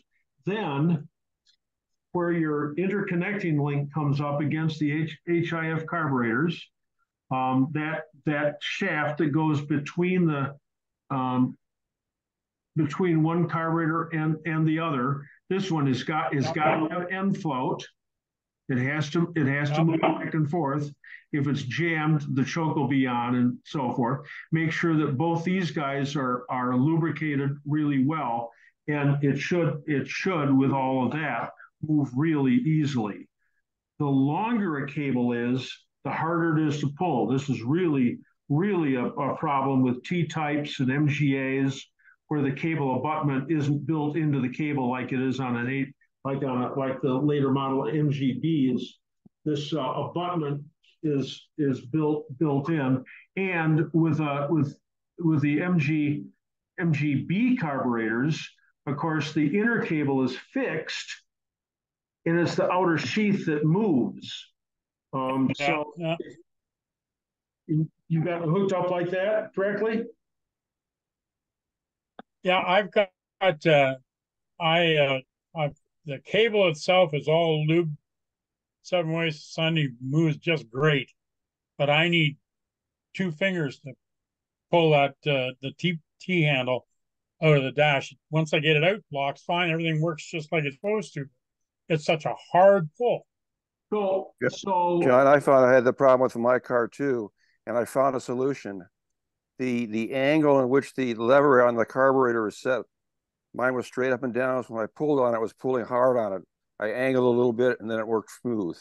Right. So so when you're when you're pulling through that through that motion, you're starting at four, 45 degrees down and pulling up. Because if you start here, you can only pull it up so, so far. So you always start at 45 de- degrees down. So you've got a nice a nice sweep like that. And what was the other thing I was? Oh, and then the other thing is that this little hole down here looks like it's supposed to take a spring it doesn't take a spring. If you put a spring between here and the heat shield on both carburetors, oh my gosh, it's impossible to pull. So get rid of those extra. You only have one spring on the choke cable, and it goes on a little tiny, a little tiny device that's right next to the cable abutment. So all that Yeah. does is pull the pull the cable off. So in that spring, that spring could come off. It doesn't really play, play much, uh, of a, of a use, does it? Um, the reason the reason the springs there on the cable is just to make sure the cable's pulled off. And when you do put the cable in, um, when I put the cable in, I I never push it all the way in the dash. I always leave the cable like standing proud about like that. So when it's off, it's still standing proud from the dash. Just leave a little bit of free play. So when you push it back in, you're sure that it's it is in fact all the way in. If you've got a problem with that, you, you want to um, if you want to uh, FaceTime me tomorrow on, on an iPhone or take some pictures of it and send them to me on my phone. I'll I'll be happy to talk to you about it. Take a look at it because it should work. I mean, it should work real easily. Yeah, John, there's- can I there's a bunch of propose another ideas here. I'll, solution? uh, I'll get into it tomorrow. It's supposed to rain here anyway, so. Okay. Fred Fred came in. I recognized his voice. Oh, is this is Steve. Oh, Steve. I All have a 1980, and I put SUs on it, so I don't know if, if this car had originally had a, a choke cable, but I replaced it because the ends got frayed or whatever reason it was, Okay. and it was it had all those problems. I couldn't pull on it. I'm, you know, really perplexed about this, and I even ordered another one. And what I did was when I put it in, I kind of routed it over some wires in a manner that created a, a binding angle under the dashboard. And when I moved it, works like a charm. So the, the way it's supposed to be routed on a, on an earlier car is, of course, it, on the on the to the right of the steering wheel, and it, and it comes down and goes through the firewall right next to the clutch, uh, right next to the brake pedal. Goes right right through there, and then comes up underneath, comes up underneath, and and uh, and works the works the linkage from the underside. Yeah, what I, what I did was I there was just some wires together and they were bound together underneath. it. Yeah. And I just I, I don't remember if I routed above or below that bundle of wires, but it made all the difference. I I believe that. I believe that because it's the outer the outer cable that, that ends up moving. So on a on a 75, well, 75 and 76, you can pry the little plug out of the dash and put the choke back in there where it originally was. Um, or 77 through 80, you take the rheostat out of the dash, which is over on the left-hand side, the left-hand side of the wheel, and move the rheostat to a blanking plug right above it, or else just get rid of the rheostat altogether. Most of them don't work anyway. Who needs dim on your on your lights on your dash? And then and then it's a steel back, and you can put the choke cable through there. It's just perfect. It's steel backed. It's great. It's it's uh, it's out of the way of the steering wheel. It can be pulled out, and you can still steer the steer the wheel without without hitting it with, with your fingers. So those are some other hints. Got another Thanks, note John. on that for you, John. This is What- Barney. Hey, hey, Barney. Uh, you know, the longer the cable is, the more resistance it's going to have.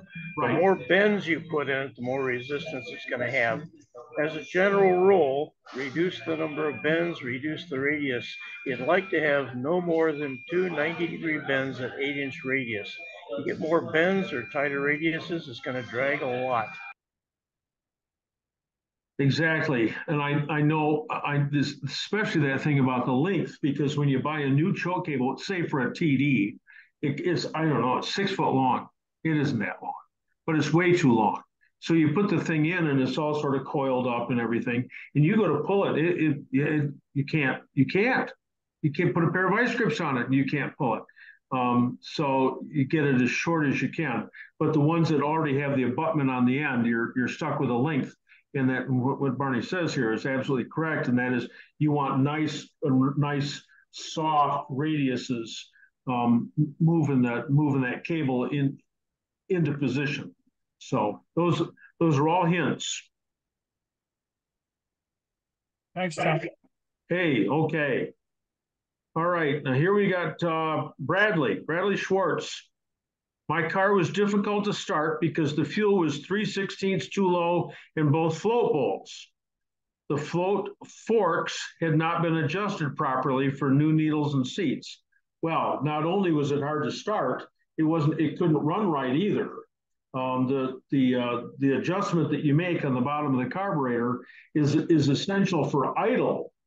Is essential for idle, but up at speed, the position of the jet isn't quite as critical.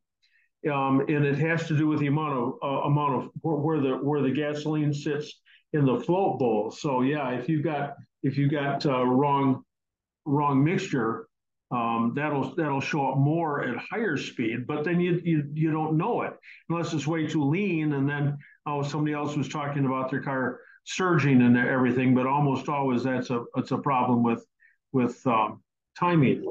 But yeah, your float height is critical. Critical. Phil Kalura, my 74. Uh, here we go. Here's one completely out, out. This is good. My 74 MGB backup lights come on when I energize the ignition. Working under the car, I can extinguish them by disconnecting two different green wires from the transmission. I have overdrive. The wiring di- diagrams I have don't seem to match the car. Okay, well, Phil, you can send me a note. Are you on? Phil, are you still on? Have you waited all this time for your your your answer? Maybe Phil has, but um, anyone who wants a wiring diagram, I can send them the wiring di- diagram for your car because unless you've got a factory workshop manual, you got a Haynes manual or something, it, it, it bunches the wiring diagrams and they're not always correct. But the, the most common problem with the backup lights being on all the time is simply that the switch is jammed on. And to do to repair it, correct it, all you need to do is buy a new reverse switch, undo the switch. It's located immediately above the cross member on the right-hand side of the gearbox, um, uh, uh, right next to the right next to the passenger's left knee, and you just reach up in there, crack it. It's a real coarse thread, uh, four, 14 by 2.0, I think, and and um, that the switch just unscrews. You put another screw in, you put another switch in, test it, because sometimes the the uh, the switch will come on on and off when you don't want it to. Sometimes you need shims in there to properly position it. So That's e that was easy. Let's see, Gary, what is the cause of a short run on when you shut the engine off on a 66 MGB? It's called dieseling and it's caused by having fuel and and heat for combustion. So there's no way to get rid of the fuel. The fuel comes through. It just can't do that. In 1973, there's an anti-run-on valve circuit installed into all the MGs. So when you turn the key off, the car stops dead. Oh my gosh, it just stops. Prior to that, they will, they do, they can, and they will diesel. So the only thing you can do to slow it down, slow the dieseling down, is is sit for just a moment before you shut it off. That's one way. The lower your idle is, the less dieseling it might have. The higher octane gasoline you run, the less dieseling it might have. After that, the cylinder head has to come off, and you got to take the carbon out, whatever carbon there is, and take any hot spots off the edge of the edge of the combustion chamber. That's really expensive. Or you can do what I do in my 1962 MGA, and that is turn the key off and you listen because I've, I've got it timed. And when it comes just to where it's just about ready to quit and start dieseling, you dump the clutch in second gear. Oh, isn't that horrible for the clutch? Yeah. But what's worse? A little bit of wear on the clutch of the engine jerking around and bump up, bump, bump, bump, bump for 15 or 20 seconds. I'd say that engine hopping around, run backwards and stuff is is is a worse deal. So I clutch mine. But those are other things that you can do. John? Yes. Yeah. I have a question. I come back on the over um, overdrive uh, gear uh, gearbox. My uh, MG is a Californian MGB with a, a, US engine, I would say, and a Stromber uh, carburetor, Zenith Stromber. What year? What year is it? Uh, 77. Okay. I changed everything with an engine and a gearbox coming from an, an, an English MG GT from 74. And uh, I changed, uh, so I kept the gearbox, the English gearbox, because uh, she, uh, it has another drive. The question concerns the, the, the wiring to go from the gearbox to the switch on the dashboard I have to install because before I had no, no overdrive and which diagram I have to use. The the 77 US diagram or the 74 GB diagram? So when you're when you're wiring this up, um, you've got you've you've had to add an extra switch, correct? Yes, I have it. And so you want to put a 10 amp fuse in that circuit. Okay. The original the original overdrive circuits are not fused. So I don't know where you're drawing your power from, but um, but you just just make sure that you've got a 10 amp fuse in that in that circuit. That wire goes from the switch to the lockout switch on the top of the gearbox. It's the least accessible electrical component in the vehicle. You can't reach it from unless you drop the, the back end of the, of the engine. But the wire goes to the switch uh, from your overdrive switch on your dash. It goes to the switch on the gearbox and from the switch on the gearbox to the solenoid. If you send me uh, your email address, send me an email and I'll sketch, I'll diagram it for you with the colors and, and, and locations. Okay, and and and and, and to reach uh, the the switch on the gearbox at the, at, at the back of the uh, gearbox, if if you do a hole in the tunnel, is it is is it uh, is it fine or or you have to go under the car to to to go to the switch? Got to go under the car to go to the switch. Okay. You, you um, it's it's a real it's a real hassle reaching that switch very, very difficult. Okay, thank you. I send you. Uh, I, I will send you a message. Thank you. Okay. Okay. So here we've got uh, Brad Schwartz. So we're we're we're at 9:05. So we're we're starting to run. We're starting to run a little late here tonight. We'll answer a couple more questions. I don't know how many more questions are here, but we'll see if we can get through a couple more here. So Bradley Schwartz, if you're still on, you can come on. When adjusting the jet height to set the mixture, the workshop says the carburetor not being set should be taken out of action by lifting the piston half an inch and closing the throttle plate. No, no, I, I take great issue with that. No, no, Not you, necessary? No, no, you can't. It doesn't work. No, you, you, you just, you do one carburetor at a time. You work this one and then you work this one.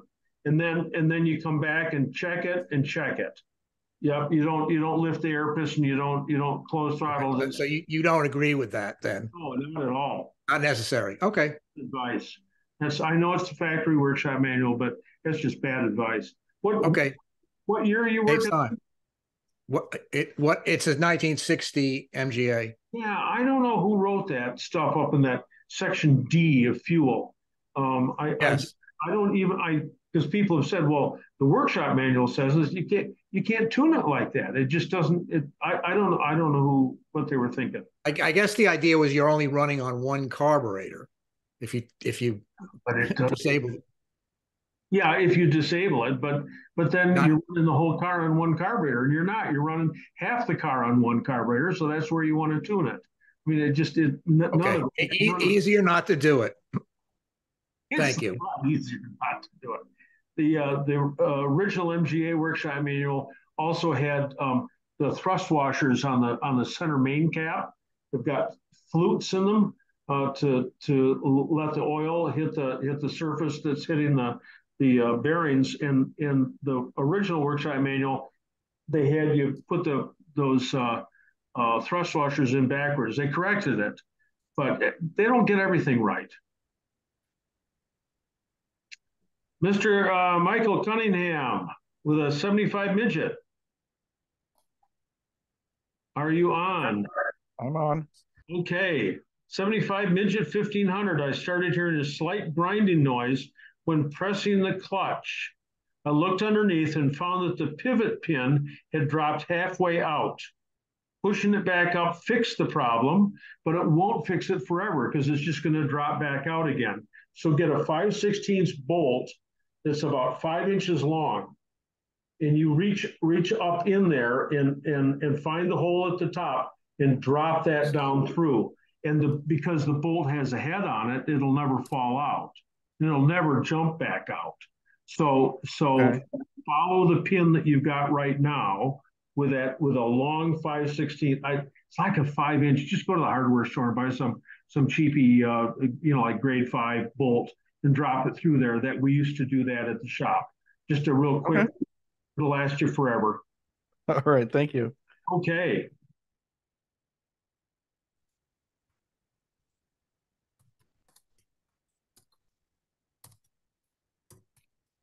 Don Nelson, how can you tell if each carb damper has enough oil in it?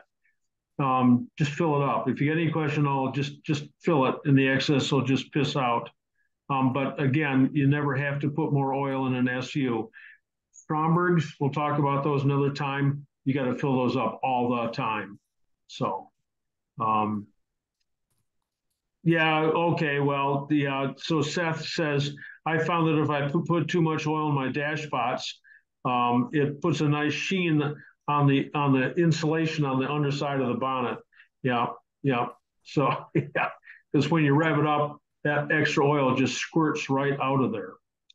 So iPhone to everybody who's ever who has ever iPhone, John, I'm considering buying a 72B that is supercharged. In uh, it's in Denver. Uh, once I personally check it out, I'm having it shipped to Florida.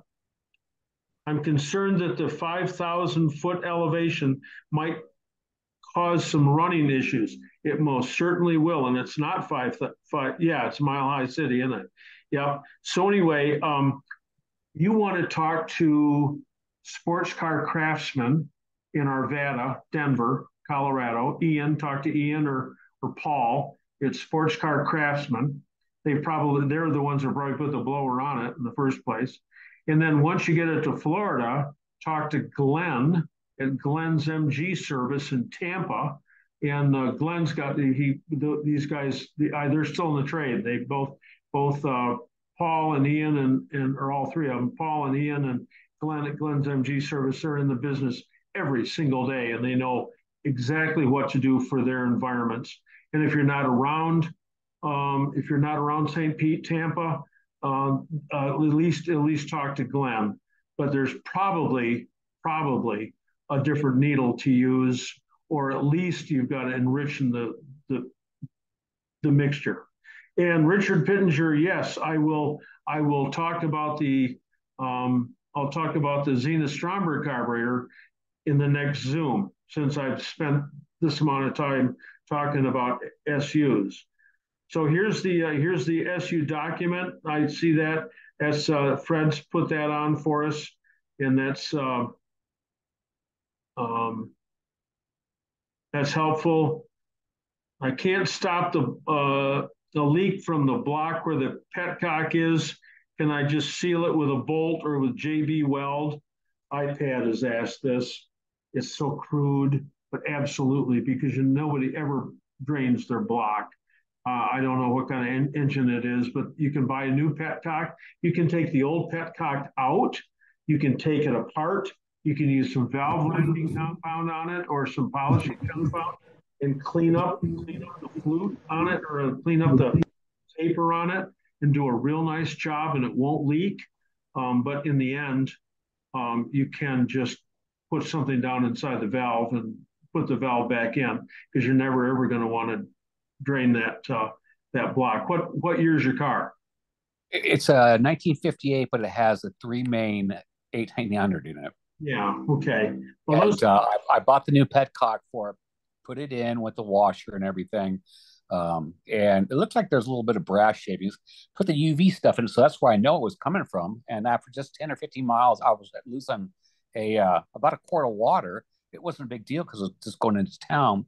But bought the new petcock, put it, you know, put the Teflon tape on it, put it in. It's not leaking nearly as bad, but I'm still losing water. Okay, so if you're losing water, that's that's an issue. Um, but if it's you, you can see if it's dripping out, out of the petcock, is it coming out of the water pump? That's the most common place. It's, no, it's not. It's, it's coming out of that petcock. Then the other thing is that you think it's losing water, but it isn't. It's just stabilizing. So, you know, the top of the radiator tank is what, about that tall, right? And Correct. Really, the water, when you fill it up, if you fill it up all the way and then get it hot and turn it off, that water gets so hot and, and, and a pint of it dumps out on the ground. Uh-huh.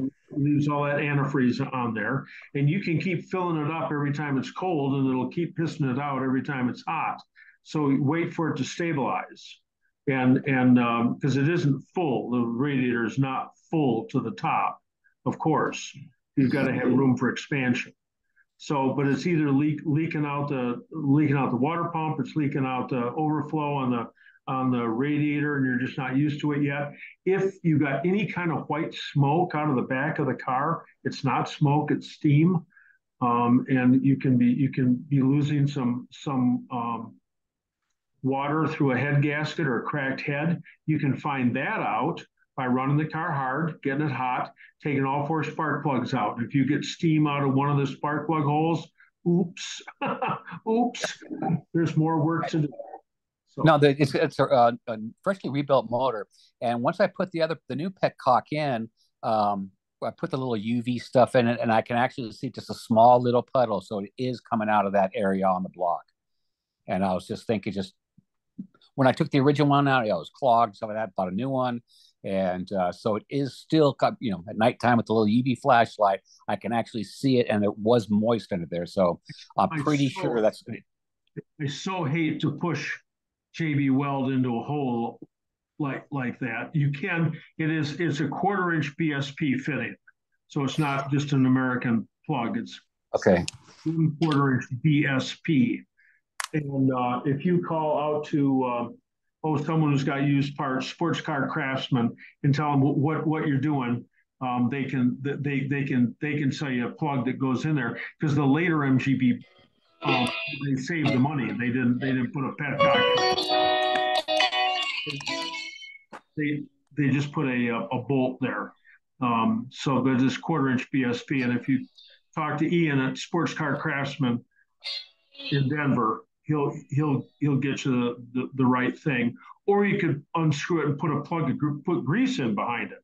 Just pull that fill that whole thing full of grease. And chances are the pressure that's in there ain't going to blow the grease out. So. Okay, great, great, thank you. Okay.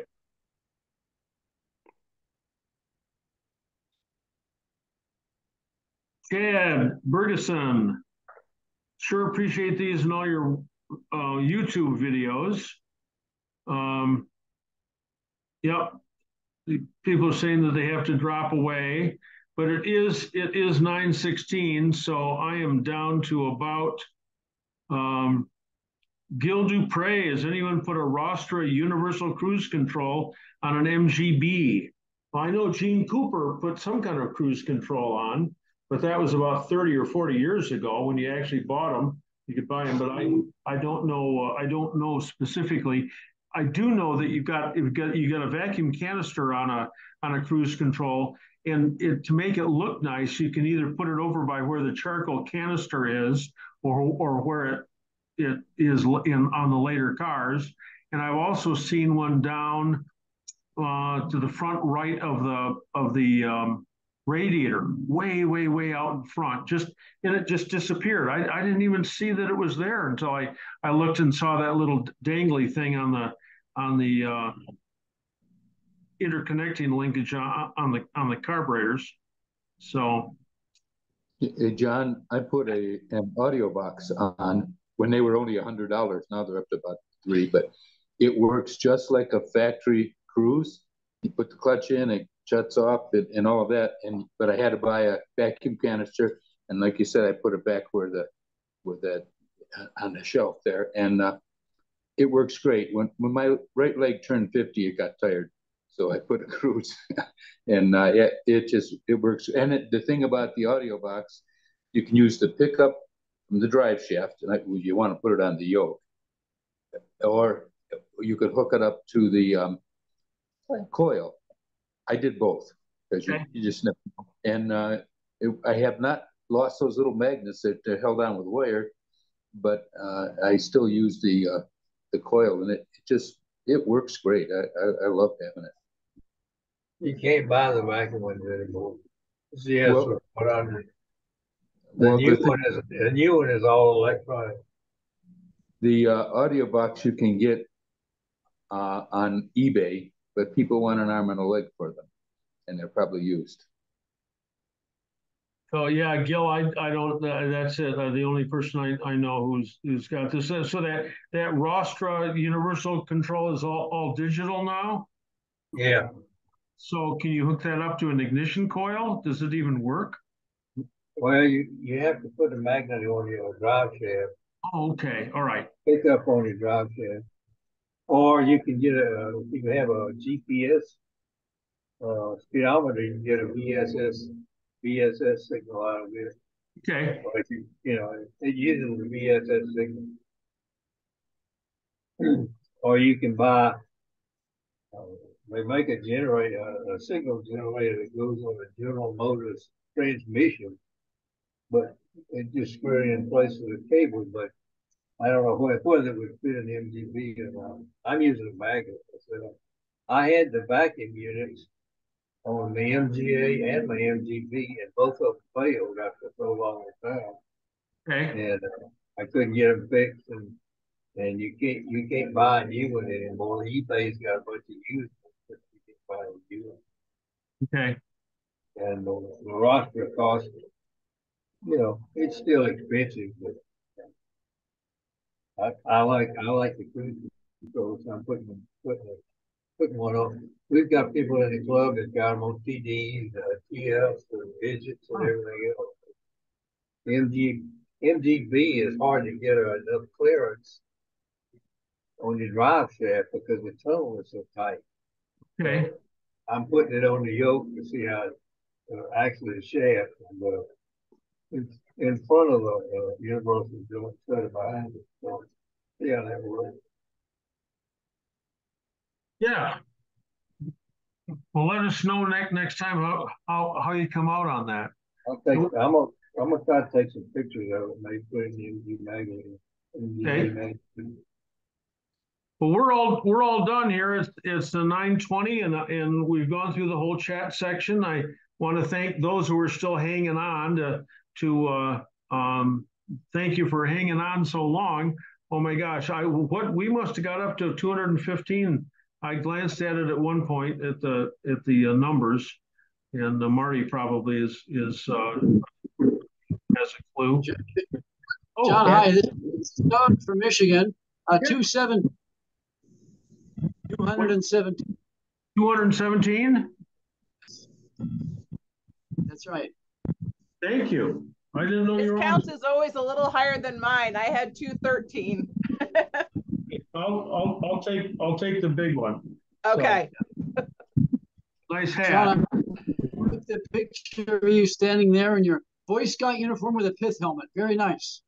No, that, And the that's, screen- uh, that's uh, that was at the uh, mint julep party, and uh, croquet and and uh, the cro- lawn croquet and mint julep party in 1980, just after I got got the uh, car um, restored. Yeah, when I when I was thinner, so. and I, I'm not sure I pulled that that specific pith helmet out yet, but I have that in the other room. so, Good to see you yesterday. Thank you for coming to the uh, British Car Festival. Over, I think there were over 450 cars. Oh, that was such a beautiful day, and there was such a wide variety of of three wheel Morgans, and of course all the MGs, MGY. There's a Y uh, Y type there, and and uh, Dino's RV8, and all the MGs, but there were t- Triumphs and and I, everything. I am not sure I saw a Bond, but I didn't I didn't look at much of the other sections. So anyway, yeah. 28 Lotus, 22 Austin Healey, uh, um, mostly vintage, probably 75% vintage, 25% modern, but there were several British motorcycles too. Very nice. Um, so thanks for coming to that. It was it was fun. Nice to see you there. Gosh. So all right. Well, everybody, thank you very very kindly. And our next our next gathering will be um, on the 25th, Monday the 25th. Um, today is 9/11 Patriots Day. I had my flags flying out today. So in memory of those who who uh, innocent. I mean, more people died in the Twin Towers than at Pearl Harbor, um, and they were all non-combatants unless you count some of the policemen there, I suppose, who died as combatants, but that's not really fair. Anyway, thank you all for being here, and uh, we'll uh, slowly fade out here. Thanks, John. We'll let you Thank know. you, how- John. Thanks Thank a you, lot, John. John. My flag's Thanks, flying. John. Always good. Alan, Thank you very much. That was so that was so sweet. Miracle on 28th Street. I love it. Thanks, I'm John. glad you like that. Hey, Bradley, Thank thank you. you. Okay. Thanks, John. Thanks, John. Thanks, thanks everybody for being here. Good And night, uh, John. hanging in. Good night, Barney. Nice to see you tonight. You Hey, know, John.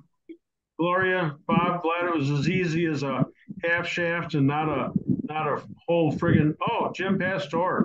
There we go. How are you doing? Good. You have to show your caricature sometime to everyone. Yeah, well here, here, I got it. I got it here. Oh, oh this is this is uh whoops. Um yeah, here, just a second. Let me get the view changed. Just a sec, I'll be right back.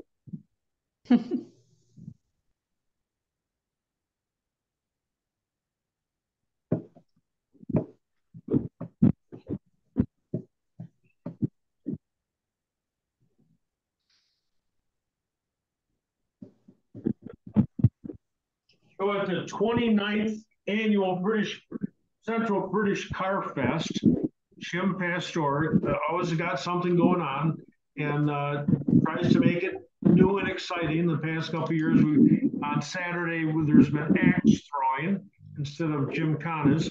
Anyway, this time he had a caricaturist, and oh, you can't see because of the background. Just minute, let me get rid of my. I got to work better on more on my background. Choose none. There we go. So here's the here's the caricature. You know that that the that the guy did of me. Right. Just reminds me I got to lose some weight, but um, anyway, it's real nice. Caught the caught the caught the wire rim glasses and everything. So Jim, thank you very much for getting Looks that. good. Thanks, John. All right. Good night. Good night. Good night.